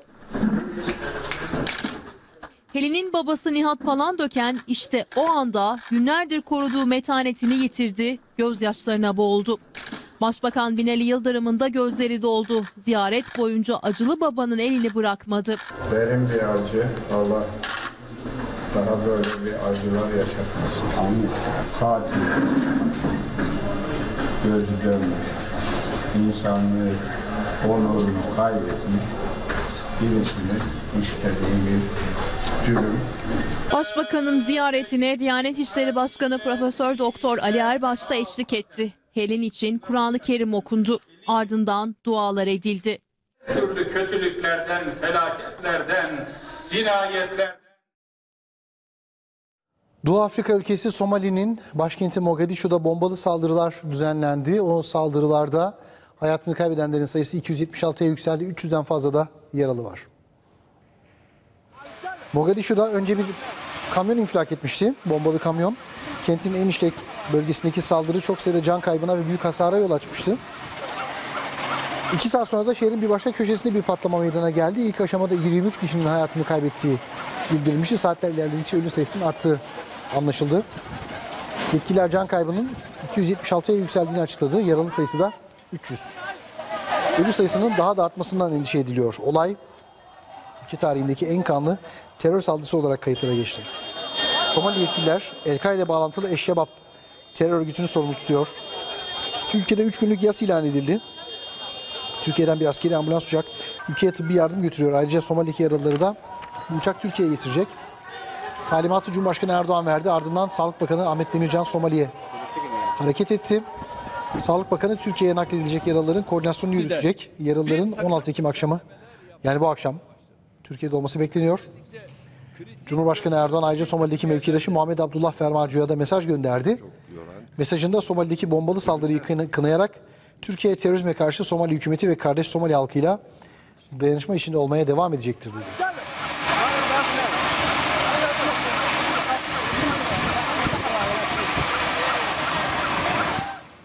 Ankara'ya çeviriyoruz kameralarımızı. Ankara'daki adamız Betül Bilsel bizi bekliyor hazır. Betül kolay gelsin. Bugün yoğunsunuz. Allah kolaylık versin. Amerikalı heyet, MGK, Bakanlar Kurulu. Ee, ne var? Anlat bakalım.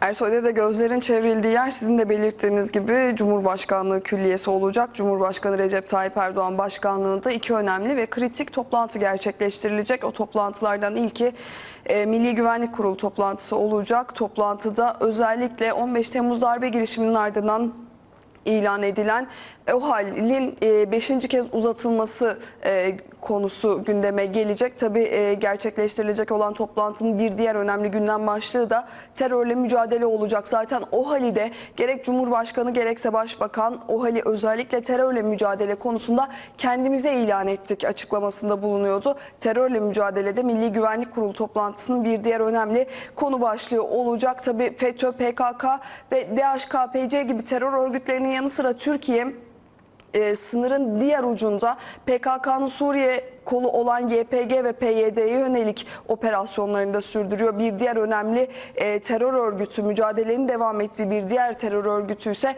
DH ile mücadele kapsamında yürütülen operasyonlarda yine bu toplantının öncelikli gündem başlıkları arasında olacak. Özellikle İdlib'e başlatılan operasyon ve o operasyon çerçevesinde izlenecek yol haritası konusunda da askeri üyelerin kabine üyelerine, bakanlara ve Cumhurbaşkanına e, bilgi vermesini bekliyoruz. Tabii Milli Güvenlik Kurulu toplantısının ardından da e, Bakanlar Kurulu toplanacak. Milli Güvenlik Kurulu toplantısında alınan OHAL'in uzatılması tavsiye kararı Bakanlar Kurulu'nda görüşülecek ve Bakanlar Kurulu toplantısında da yine terörle mücadele başta olmak üzere Türkiye'nin gündemindeki önemli konu başlıkları ki bunların arasında elbette diplomasi, dış politika aynı zamanda ekonomi gibi kritik başlıklarında olduğunu söylemek mümkün. Kritik başlıklar Bakanlar Kurulu toplantısında da masaya yatırılacak. Cumhurbaşkanı Recep Tayyip Erdoğan başkanlığında yapılan bu iki toplantıda olacak. Bugün gün boyu gözler tabii gündeme gelecek bir diğer önemli konu başlığı ise elbette Amerika Birleşik Devletleri ile Türkiye arasında yaşanan vize e, krizi. Bu kriz bilindiği üzere Amerika Birleşik Devletleri'nin Türkiye'nin e, yürüttüğü e, FETÖ ile mücadele operasyonları kapsamında Amerika Birleşik Devletleri İstanbul Konsolosluğu'nda çalışan bir kişinin gözal, gözaltı e, tutuklanmasıyla birlikte başlamıştı. Ve hemen ardından e, Amerika Birleşik Devletleri önce e, bir açıklama yaptı. Sonrasında gerçekleştirdiği vizeleri askıya alma skandal kararıyla da aslında Türkiye ve Amerika arasındaki vize krizinin fitilini ateşlemiş oldu. Bu çerçevede aslında Türkiye'den son derece sağduyulu açıklamalar geliyor. Biz elimizden geleni yapacağız ama kimse bizden terörle mücadele konusunda herhangi bir şekilde taviz vermemizi beklemesin yönünde açıklamalar geliyor. Tabii bu konuda Amerika Birleşik Devletleri'nden gelen de bir heyet var. Dışişleri yetkilileriyle görüşmeler gerçekleştirilecek. Bu da Ankara'da yakından takip edilecek diyelim. Sözü yeniden size bırakalım Ersoy dede. Teşekkürler. Sağ olasın, var olasın Betül Bilsel. Aktardığın bilgiler değerlendirmeden için. Betül Bilsel gitti. Sen kahve mi içiyordun? Yarım mı kaldı? İç iç. İç iç ben beklerim. Otur. İç. İç iç iç maşallah. Oh. Oh güzel mi? Lezzetli mi? Ha güzel. Kim yapmış? İbo. Fatih, Fatih abi. Fatih abi yaptı. Ha, iyi. Bitti mi? Bitti. Sonra kapatırım abi. Be, şeyse kapatalım. Ben, ha? Bir, bir yudum daha var. Şunu da iç. Kapat bakayım. Heh, Al.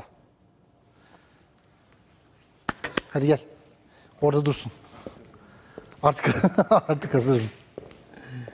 Gazeteleri göstereceğiz. Yazar var yazar. Yazar verdik mi? Hikmet abi de kalmıştık en son. Ee, ve onu verdik ama değil mi? Bitti. Tamam. O zaman Engin Arıç vereyim sana biraz. Ay ay. Kesmek için kesici. Ekmek için ekme ekmek için ekmeletim vardı ya. Dikmek için dikici. Sonra zaten lafın arkasını getirmeyelim diyor. Dur. Ay. Ay. Ben size demiştim CHP'nin Cumhurbaşkanı adayı İlhan Kesici. Ankara mahfilleri doğruladı. Erken yıpranmasın diye dalgalandırmıyorlar. Yalnız bir parantez açayım araya. Yani ben kendimi bildim bileli. Babam kendisini bildi bileli. Ee, rahmetli dedem kendisini bildi bileli. İlhan Kesici her şeye adaydır. Hala daha yıpranmasın diye adını açıklamıyorlar. Benim bildiğim her dönem her şeye adaydır İlhan Kesici. Sağın ortak adayıdır, solun ortak adayıdır. İstanbul Belediyesi'ne adaydır, başbakanlığa adaydır. Her yere adaydır mesela İlhan Kesici. İlhan Kesici potansiyel adaydır. Potansiyel olarak umuttur İlhan Kesici. Hala da adı yıpranmasın diye adını mı açıklamıyorlarmış? Vay arkadaş. Güzelmiş. İyiymiş. Ben size demiştim CHP'nin Cumhurbaşkanı adayı İlhan Kesici Ankara mahfilleri doğruladı. Erken yıpranmasın diye dalgalandırmıyorlar. Öte yandan şimdiden hazırlıklara başla diye talimat verilmiş. Yani uyanık Kemal Kılıçdaroğlu kendi meclis koltuğunu tehlikeye atmayacak. Beklendiği gibi kazanamayacağı bilinen kesici öne sürüp harcayacak. Buraya da bir virgül koyalım. Meclisten geçen yeni düzenlemeye göre bir kişi hem başkanlığa hem milletvekilliğine aday olamayacak. Öyle hem karnım doysun hem pastam doysun yok. Başkanlığa adaysan başkanlığa adaysın. Milletvekilliğine adaysan milletvekilliğine adaysın. Ben hem başkanlığa aday olayım hem de milletvekilliğine aday olayım. Biri olmazsa öbüründe e, şeyi emekliliği garantileriz diye bir şey yok. E, Engin Ardıcı'nın bahsettiği hikaye o. İlhan Kesici'yi başkan adayı yapacak. Kendisi de meclis üyeliğini e, tutmaya devam edecek. İkinci bir Ekmelettin İnsanoğlu vakasıyla karşı karşıyayız. Bu da bekleniyordu. Bunlar Hüsamettin Cindoruk'un akıllarıdır. Hatırlarsanız Kemal Bey Hüsamettin Bey'in onlara ufuk açtığını söylemiş. O ufuktan ilk doğan güneşte yürüyüş tatavası olmuştu. İlhan Kesici aile durumundan dolayı memlekette hala yaşamayı sürdüren Demirelcilerin oylarını alacak. Kemal Bey bunu yüksek bir oran sanıyor ama o oran bindelerle, bindelerde daha doğrusu. Abi Süleyman Demirel'i hadi diyelim ki tanıyan var. Diyelim ki tanıyan var. Teveccüh edip Demirel'in ailesinden diye e, birine oy verecek seçmen mi kaldı? Gözünü seveyim. Diyelim ki tanıyoruz. 40 yaş üstü tanıyor Demirel'i. İyi mi tanıyor? Hani diyelim ki tanıyoruz. Bir Demirel vardı. E iyi mi tanıyoruz? Kesici eee, bu acıklı güldürüde kullanılmayı seve seve kabul edecektir. Namı yürüyecek işte fena mı? Seçimi kaybettiği, meclise de giremediği zaman gider Hüsamettin abine çay içmeye ya da de,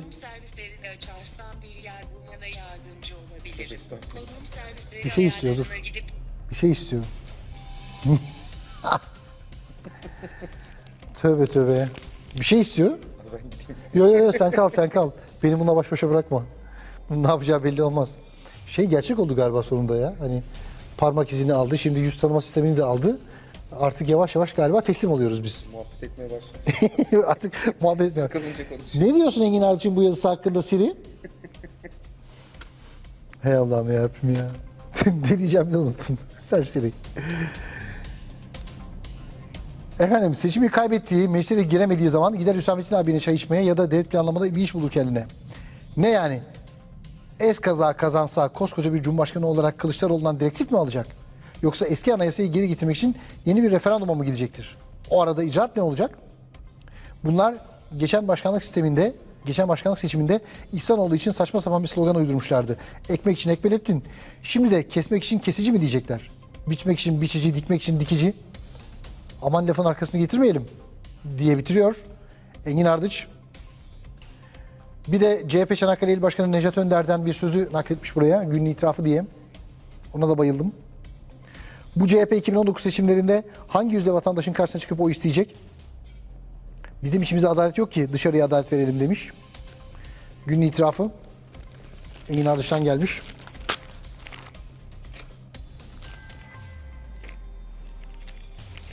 Tamam mı? Sana bir yazar daha okuyayım o zaman. Takvimden Şebnem Bursalı. Kılıçdaroğlu'nun milli olma bedeli 50 milyar TL midir? diye soruyor. Rakamlar açıkladılar biliyorsunuz. Bir 63 milyar TL açıklamışlardı. Türkiye ile ABD arasındaki krizin faturası diye. Sonra onu 50 milyara revize etti Ge- Genel Başkan Kılıçdaroğlu. Bakalım yazıda ne diyor? Cumhuriyet Başsavcılığı'nın resmi başvurusuna aylarca yanıt bile vermeyen ve sonunda bağımsız yargı tarafından önce gözaltı ve ardından tutuklanan bu kişi için ABD devleti ve büyükelçisinin hiç de normal olmayan vizeleri askıya alma kararının normal olduğunu söyleyebilir misiniz Sayın Kılıçdaroğlu? Bütün bu olanlara rağmen koskoca Türkiye Cumhuriyeti Devleti susup oturmalı mıydı sizce Sayın Kılıçdaroğlu? Muhatabımız ülkeye aynı di- diplomatik adımla karşılık vermeseydik de affedersiniz sizi incittik mi demeliydik Sayın Kılıçdaroğlu? Biz onurumuzu, milli duruşumuzu koruduk diye değil. El, diye değil 50, 100, istediğin kadar maliyet çıksa bile buna değmez mi Sayın Kılıçdaroğlu? Sizin bakış açınızla ve maliyet hesabınızla bakacak olursak ABD karşı çıktı diye ne Kurtuluş Savaşı'na girmeliydik ne de Kıbrıs'a çıkarma yapmalıydık. Öyle mi Sayın Kılıçdaroğlu? Sizin bu ülkenin, bu milletin onuru ve milli duruşu için, ulusal çıkarlarımız için kestiğiniz bedel 50 milyar lira mıdır Sayın Kılıçdaroğlu diyor. Kılıçdaroğlu'nun milli olma bedeli 50 milyar TL eee, şeklinde diyelim. Burayı uğurlayalım. Müsaade senin. Kahven soğumuştur. Arkadaşlardan rica edelim falına baksınlar. Bakalım eee, ne çıkacak. Terfi olur, atama olur, tayin olur. Flakka, zombi yapı. Türkiye'de de çıktı karşımıza. Eee, bu daha evvel işte bazı Amerikan filmlerinde falan e, fantastik bir şey olarak gösteriliyordu. İçince canavara dönüştüren o haplardan. E, dışarıdan bir kargo geldi Barcelona'dan Türkiye'ye avcılara. Bu kargoyu yakaladı gümrük muhafaza memurları ve takip ettiler kargoyu kim teslim alacak acaba diye. E, biri teslim aldı. Serkan O isimli bir televizyon sunucusu. Sonra onu tabii orada gözaltına aldılar ve soruşturmayı derinleştirdiler. Nereden sipariş ettin? Nerede kullanılıyor? Kimler var daha fazla diye. İşte önümüzdeki günlerde çokça kullanacağımız Flakka'nın yani zombi yapının Türkiye'ye geliş hikayesi.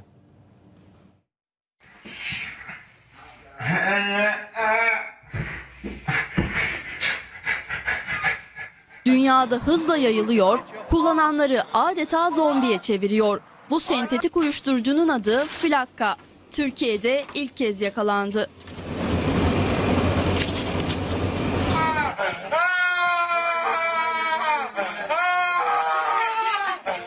Narkotik köpekleri İstanbul Uluslararası Posta İşleme Merkezi'nde İspanya'dan gelen bir kargoya tepki verdi. Gümrük muhafaza ekipleri o kargoyu açtı. İçinden 50 paket zombi hapı denilen uyuşturucu çıktı.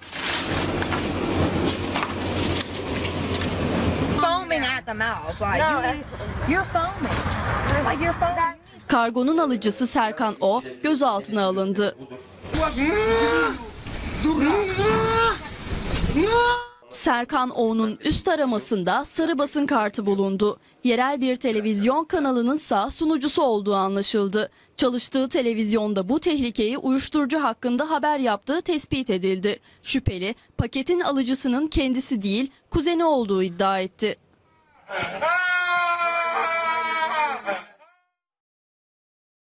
Hafta nasıl geçecek? Ona bakacağız. 51 Anayan burada. Günaydın. Günaydın Ersoy. Nasıl olacak havanın durumu? Şimdi Ersoy bugün haritamızda da arkada görüyoruz. Doğu Bu Karadeniz. Türkiye, evet e, radarlarından, e, Türkiye'deki radarlardan alınan e, verilerle oluşturulmuş. Canlı mı bu görüntü? E, canlık değil ama bir ya da e, bir buçuk saat geriye doğru e, devam ediyor. Sabahın çok erken saatlerinden e, yaklaşık 30-40 dakika geriye kadar ki e, görünüm. Ama bundan çok kolay şekilde şu anı ve gelecekte sistemin nasıl hareket edeceğini anlayabiliyoruz. Şu an Haritada da gayet açık gözüküyor. Karadeniz üzerinde kalın bulut tabakaları e, yeşil e, noktalar şeklinde gözüküyor. Özellikle Doğu Karadeniz'de Ordu, Giresun, Trabzon, Rize ve Artvin çevresinde oldukça kalın bulut tabakaları var. Bu o noktalarda oldukça şiddetli yağış anlamına geliyor Ersoy. Şimdi hava sıcaklığındaki düşüşle birlikte yağış ne oluyor? Artık yere kar olarak inmeye başlıyor. Dolayısıyla oradaki aslında manzara bu. Şu anda Orta ve Doğu Karadeniz'de oldukça şiddetli sağanaklar var. Beraberinde e, atmosferde düşey yatay yönde hareket çok çok fazla Ersoy. Fırtına var. Orta ve Doğu Karadeniz hem deniz açıklarında hem kara üzerinde. Tabii ki bu da hem deniz ve hava ulaşımını olumsuz yönde etkileyecektir. Beraberinde hissedilen sıcaklığı düşürecektir. Kuzeyden e, soğuk havayı üzerimize taşıdığı için. Ve şu anda hali hazırda özellikle Rize, Artvin çevresinde Deniz seviyesinde sağanak yağmur ama çok şiddetli sağanak yağmur metrekareye 100-200 kilo yağış düşecek şekilde. Ersoy uzun zamandır 200 kilo sağanak yağış uyarısı yapmamıştık.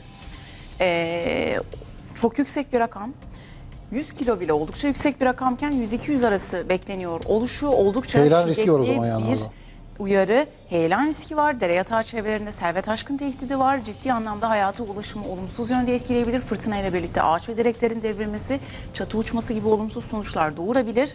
Ve rakım 1500'ü geçtiği andan itibaren artık yağış, sulkar ve kar yağışı şeklinde düşmeye başlayacak. Ve Rize, Artvin, Ardahan çevresinin de ve yüksek kesimlerde artık 1500'ü geçtiği andan itibaren e, yoğun kar yağışı var. E, 20 santim kar örtüsü oluşturacak kadar bir kar örtüsü bekleniyor bu saydığımız illerde özellikle de.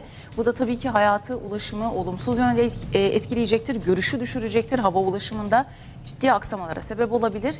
E, bunlar Öncelikle uyarılarımız Ersoy bu çok önemli ama onun dışında bugün Karadeniz'in tamamında yağış var. Şu anda o küçük noktasal e, şekilde gördüğümüz e, yeşil küçük küçük noktaların olduğu yerlerde bile sağanak yağışın olduğu yerler anlamına geliyor bizim açımızdan. Dolayısıyla Karadeniz bölgesinin tamamı yağmurlu, İç Anadolu'nun doğusu, Sivas, Kayseri çevresi yağmurlu, Doğu Anadolu'nun kuzeyinde, Erzincan, Erzurum, Kars, Ağrı, Ardahan e, çevresinde ve Van'ın kuzeyinde de kısa süreli sağanaklar var.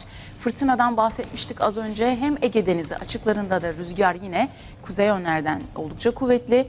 Hem Orta ve Doğu Karadeniz'de, İç Anadolu'nun doğusunda ve güneyinde, Konya çevresinde ve Doğu Anadolu'nun tamamında karayel saatte 60-65 kilometreye varan hızlarla esiyor ama Orta ve Doğu Karadeniz açıklarında rüzgarın hızı saatte 90 kilometreye ulaşacak ki tam fırtına e, olarak isimlendirdiğimiz bir hava olayı. Saatte 90 kilometreye ulaştığı andan itibaren dolayısıyla önemli tedbirli olmak gerekiyor. Bugün hava sıcaklığı sadece yağışın görüldüğü yerlerde Doğu Karadeniz'de, Doğu Anadolu'nun kuzeyinde azalıyor.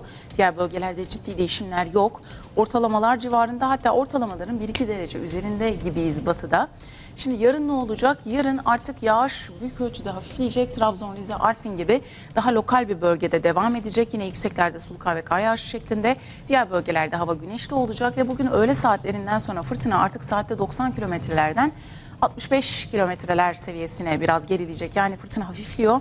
Yarın da yine hafif şekilde saatte 60-65 kilometreye varan hızlarla Doğu Karadeniz, Doğu Anadolu, İç Anadolu'nun doğusunda devam ediyor olacak. Hafta ortasında çarşamba günü tüm yurtta hava güneşli Ersoy. Perşembe, cuma, cumartesi ve pazar günü yine tüm yurtta hava güneşli, açık, ortalamaların 1-2 derece üzerinde sıcak olacak ama şu anda da önümüzdeki haftada iç ve doğu bölgeler başta olmak üzere gece gündüz sıcaklığı arasındaki fark çok fazla Ersoy. Gün içerisinde maruz kaldığımız bu sıcaklık değişimi çok fazla olduğu için soğuk algınlığı tehdidi her geçen gün artıyor. Doğru kıyafetleri seçmek çok önemli. Havaya göre giyinmek çok önemli. Çok fazla kalın olmayan tek parça kıyafetler yerine daha ince ama kat kat giyinmek lazım ki bulunduğumuz hava koşullarına göre kıyafetlerimizi çıkartıp giyinerek ayarlayabilmek adına bu bizi soğuk algınlığından koruyacaktır ve yine bu sıcaklık değişiminin arttığı günlerde olabildiğince kalorili gıdaları tüketmemiz çok önemli. Çünkü bağışıklık sistemimiz zayıflıyor böyle sıcaklık değişimleri anında. Ee, dolayısıyla kaloriyi artırdığımızda bağışıklığımızı güçlendirmek adına oldukça iyi bir destek olacaktır hatırlatmasıyla. Bugünü de böyle noktalamış olalım. Yarından itibaren artık hafta ortasından itibaren tüm yurtta hava güneşli, sıcak ve ortalamaların üzerinde olacak. Ama bugün saydığımız illere dikkat Ersoy. Trabzon, Rize çevresinde sel taşkın tehdidi var. Yüksek kesimlerde ve Ardahan'da yoğun kar var. Aman dikkat hayatı ulaşımı olumsuz etkileyebilir. Çok teşekkürler sağ olasın var olasın. Elle bize anlattı memleketin havasını. Sultan Gazi'ye götüreceğiz sizi. Hamsi ve Horon Festivali vardı. 5 ton hamsi kızartıldı. 2 saatte de yendi. Ardından da horonlar tepildi.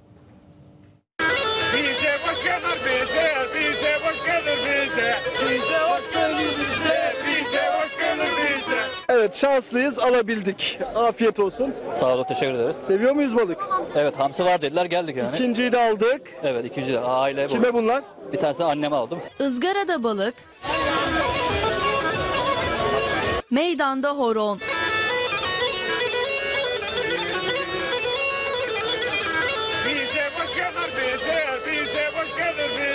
İstanbul Sultan Gazi Belediyesi Hamsi ve Horon Festivali düzenledi. Yüzlerce vatandaş buluştu.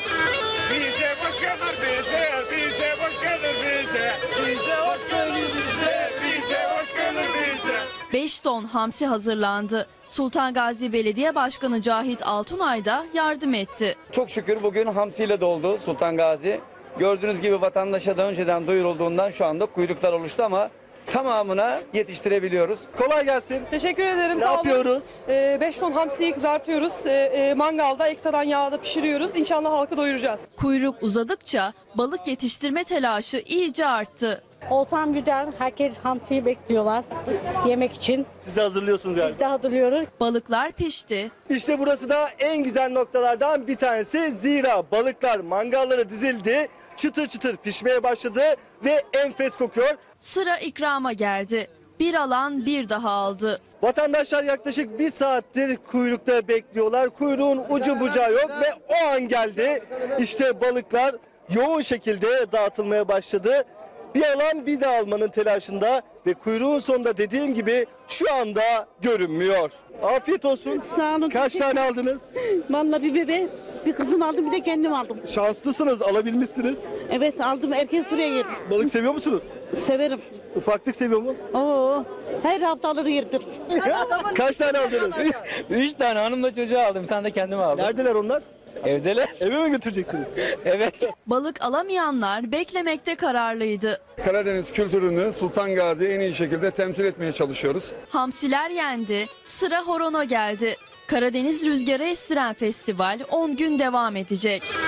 Bize hoş gelir bize, bize hoş gelir bize. Bize hoş gelir bize, bize hoş gelir bize. Otizmle sahiden e, mücadele edilebilir mi? Otizmle savaşılabilir ve bu savaş kazanılabilir miye? Çok çarpıcı bir örnek getireceğim şimdi ekranlarınıza. %98 olan otizm engelini %45'e kadar düşüren bir genç Murat Yurtçu ile tanışacağız sizi. Murat Yurtçu çeşitli enstrümanlar çalıyor. E, artık her duyduğu şarkıyı hem çalıp hem söyleyebiliyor ve otizm engelini bakın nasıl aşağı doğru hızla indiriyor.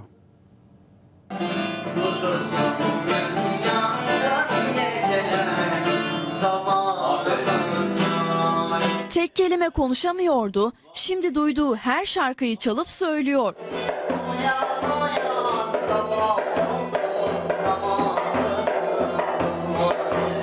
Otizmli Murat Yurtçu 6 yıl önce Zeytinburnu Engelliler Merkezi'ndeki müzik okuluna başladı. Hayatı değişti. Mesut sanıyor Otizmli Murat'ın kısa sürede yeteneği keşfedildi. Hızlı kavrama kabiliyeti sayesinde çaldığı enstrüman sayısı ona çıktı. Hiç konuşamazken engellilerin yer aldığı Akdem Müzik grubunda vokalist oldu. Hayalini kurduğu konservatuarı kazanabilmek için de müzik okulunu hiç aksatmadı. Dostlarım içinde yalnız biriyim Mendika, ork, keman, saz, bağlama gibi falan öyle. Murat şimdi duyduğu her şarkıyı hem notalara döküyor hem çalıyor.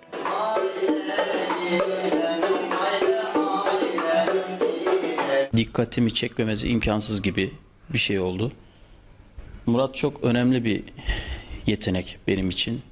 Bütün öğrencilerim öyle ama Murat farklı bu yönde yani nasıl söyleyeyim kabiliyeti çok yüksek. En büyük destekçilerinden biri de müzik hocası Ümit Akkuş. Bugün dağların dumanı aralandı hoş geldin Murat'ın enstrümanlardaki başarısı kadar sesi de dikkatlerden kaçmıyor. Gel beraber gezelim Muradımız tez olur Arabesk de var, fantasi var, oryantal gibi şeyler. Anne Selamet Yurtçu, müzik onun hayata bakışını değiştirdi dedi. Göz teması yoktu, iletişim yoktu, konuşma yok. Yani zaten hani çok e, hareketli bir çocuktu. Yani eskiden konuşamayan çocuk, bir kelime söyleyemeyen, sonradan cümle kurmaya başladı. Şarkıları söyleye söyleye. Yansın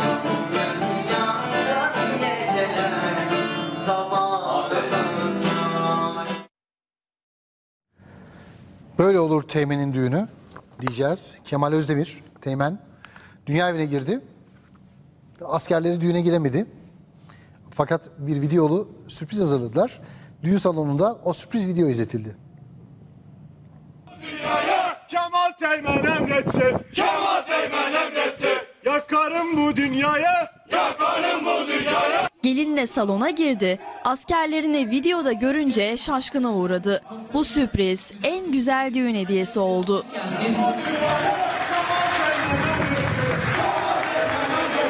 Askerlerin bu jesti davetlilere ve yeni evli çifte unutamayacakları bir anı oldu.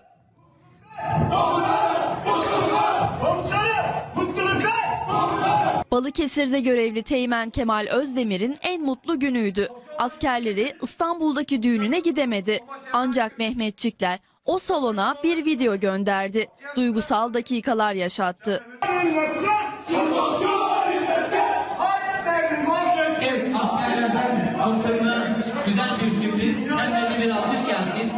Askerlerin bu jesti davetlilere ve yeni evli çifte unutamayacakları bir anı oldu. Kemal Teğmen'in aslanları, birinci batarya. Hep birlikte. Kemal Teğmen. Şu topçular inletsin. Şu topçular inletsin. Hainleri mahvetsin. Hainleri mahvetsin. Mehmet Şakir Ünlü, ahşap kari yani ahşap sanatçısı. Renkli tropikal ağaçların atıklarını topluyor. Onlardan portre ve tablolar ortaya çıkarıyor.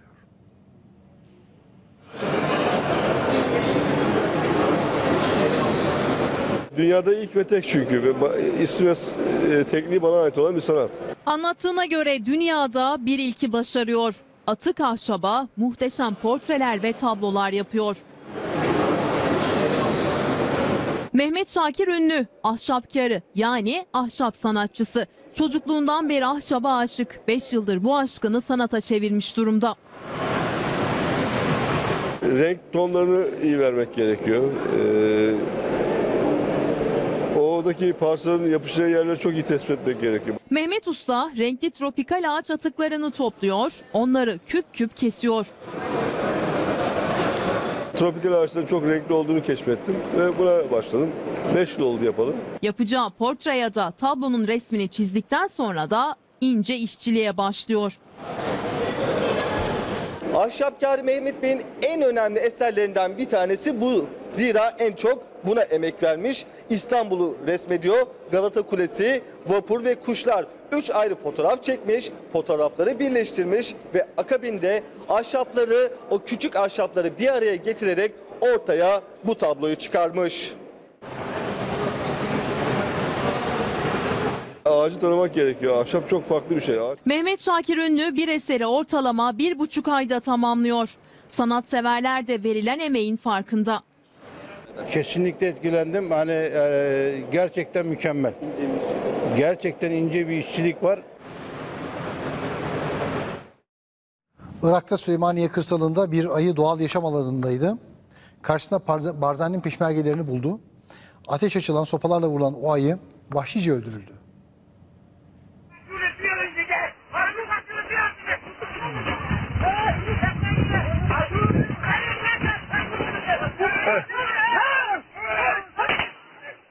Kalabalığı görünce can havliyle içlerinden birine saldırdı. Barzani'nin peşmergeleri kaçan ayının üzerine çullandı, acımasızca öldürdü.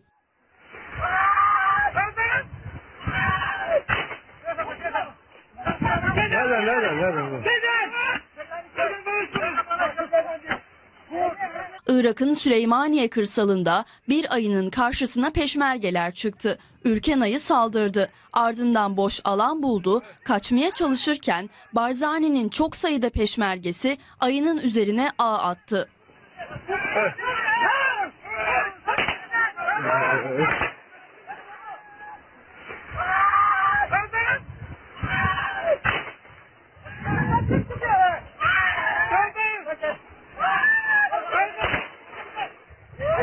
Hareketsiz kalan hayvan sopalarla vurularak öldürüldü. İki peşmerge de yaralandı. Yaşananlarsa amatör kameraya yansıdı.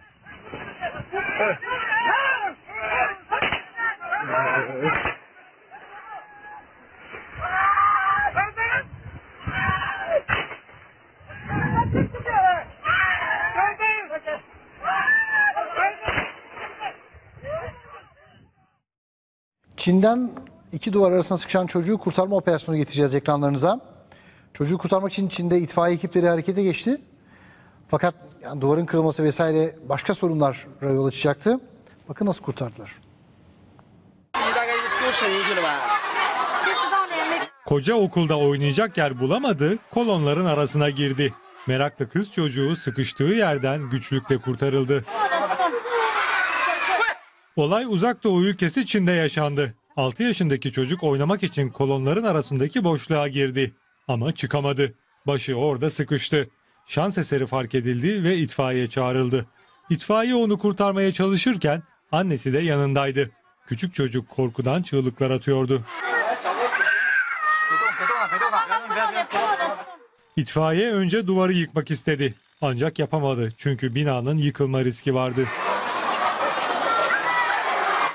Akıllarına daha pratik bir çözüm geldi. Duvarı zımparalayarak az da olsa inceltmeye çalıştılar. Ardından çocuğun yüzünün sıkıştığı yerlere yağ döktüler ve böylece çocuğu oradan çıkarmayı başardılar. Küçük kız hala yaşadığı şokun etkisindeydi.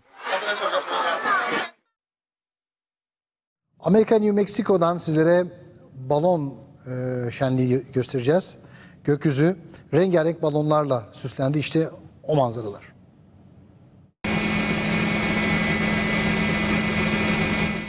Gökyüzü şenlendi.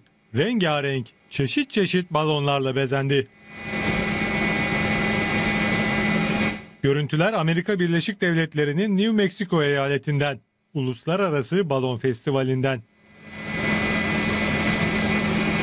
Yüzlerce kişi sabah erken saatlerde bu manzarayı görmek için toplandı. Rengarenk balonların arasında en çok çizgi film karakterleri dikkat çekti. Eyalet 9 günlük festivalde 50 ülkeden balonları ve balon meraklılarını ağırlıyor. Her gün çok renkli görüntüler kameralara yansıyor.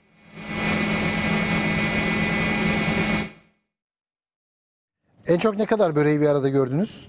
Bir kilo mu? İşte ben börek çektiniz 10 kilo mu?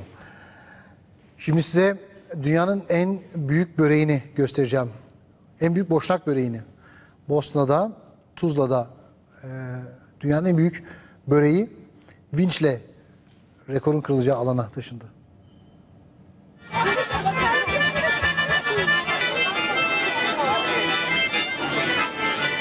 Müzikle halk oyunlarıyla meydana getirildi. Yere vinçle indirildi. Boşnaklar meşhur börekleriyle Guinness Rekorlar kitabına girmeyi umuyor. Börek 1500 yufkayla yapıldı. Toplam uzunluğu 1,5 kilometre. 675 kilo ağırlığında. Yapması 12 saat sürdü. Saat 2'den sabah 8'e kadar pişti. Sonra da meydana getirildi. Rekortmen boşnak böreği önce ölçüldü. Sonra da parçalara ayrıldı. Tuzlalılar da afiyetle yedi. Tuzla halkı en büyük börek rekorunu kente kazandırmayı umut ediyor. Gözler Guinness yetkililerinden gelecek haberlerde.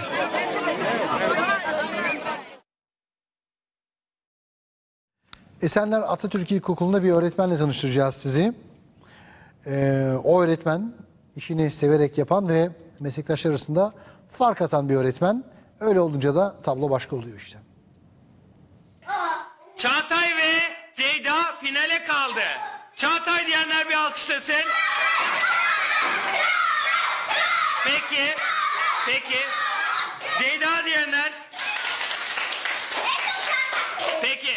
Soru geliyor. Sizin biraz heyecanınızı yatıştırmak için bunları so- sordum. Normalde çoğu öğrenci çarpım cetvelini ezberlemekten nefret eder. Ama onların gözleri parlıyor, heyecanla soruyu bekliyorlar. 10 kere 7. 70. Evet. 3 kere 8. Evet. Çünkü Esenler Atatürk İlkokulu'ndaki bir öğretmen gönülden bu işi yapıyor belli ki. Çarpım cetvelini ezberleme işini bir oyuna, yarışmaya çevirmiş. 6 kere 9. 54. Evet aferin. Önce yanıt veren finale kadar devam ediyor. Geç kalansa eleniyor. İşte bu da final anı. Şimdi size bir final sorusu. 8 kere 9. 63, 72. Evet 72. Alkışlıyorsunuz Ceyda'yı. Şampiyonumuz Ceyda. Evet aferin.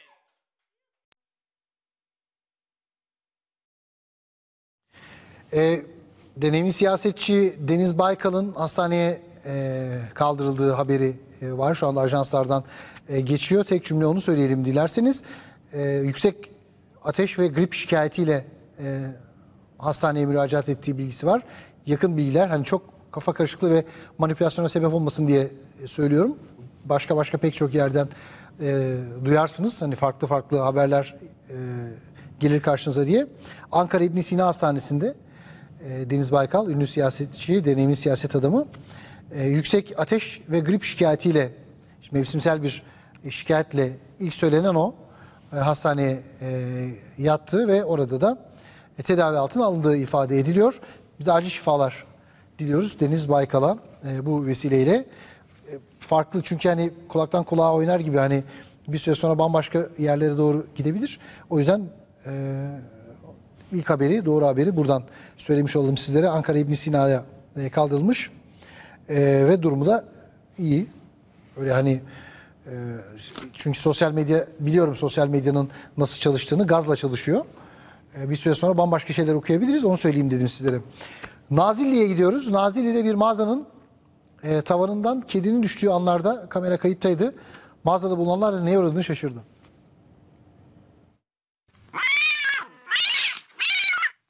Tavandan kedi düştü, çalışanlar şaşkına döndü.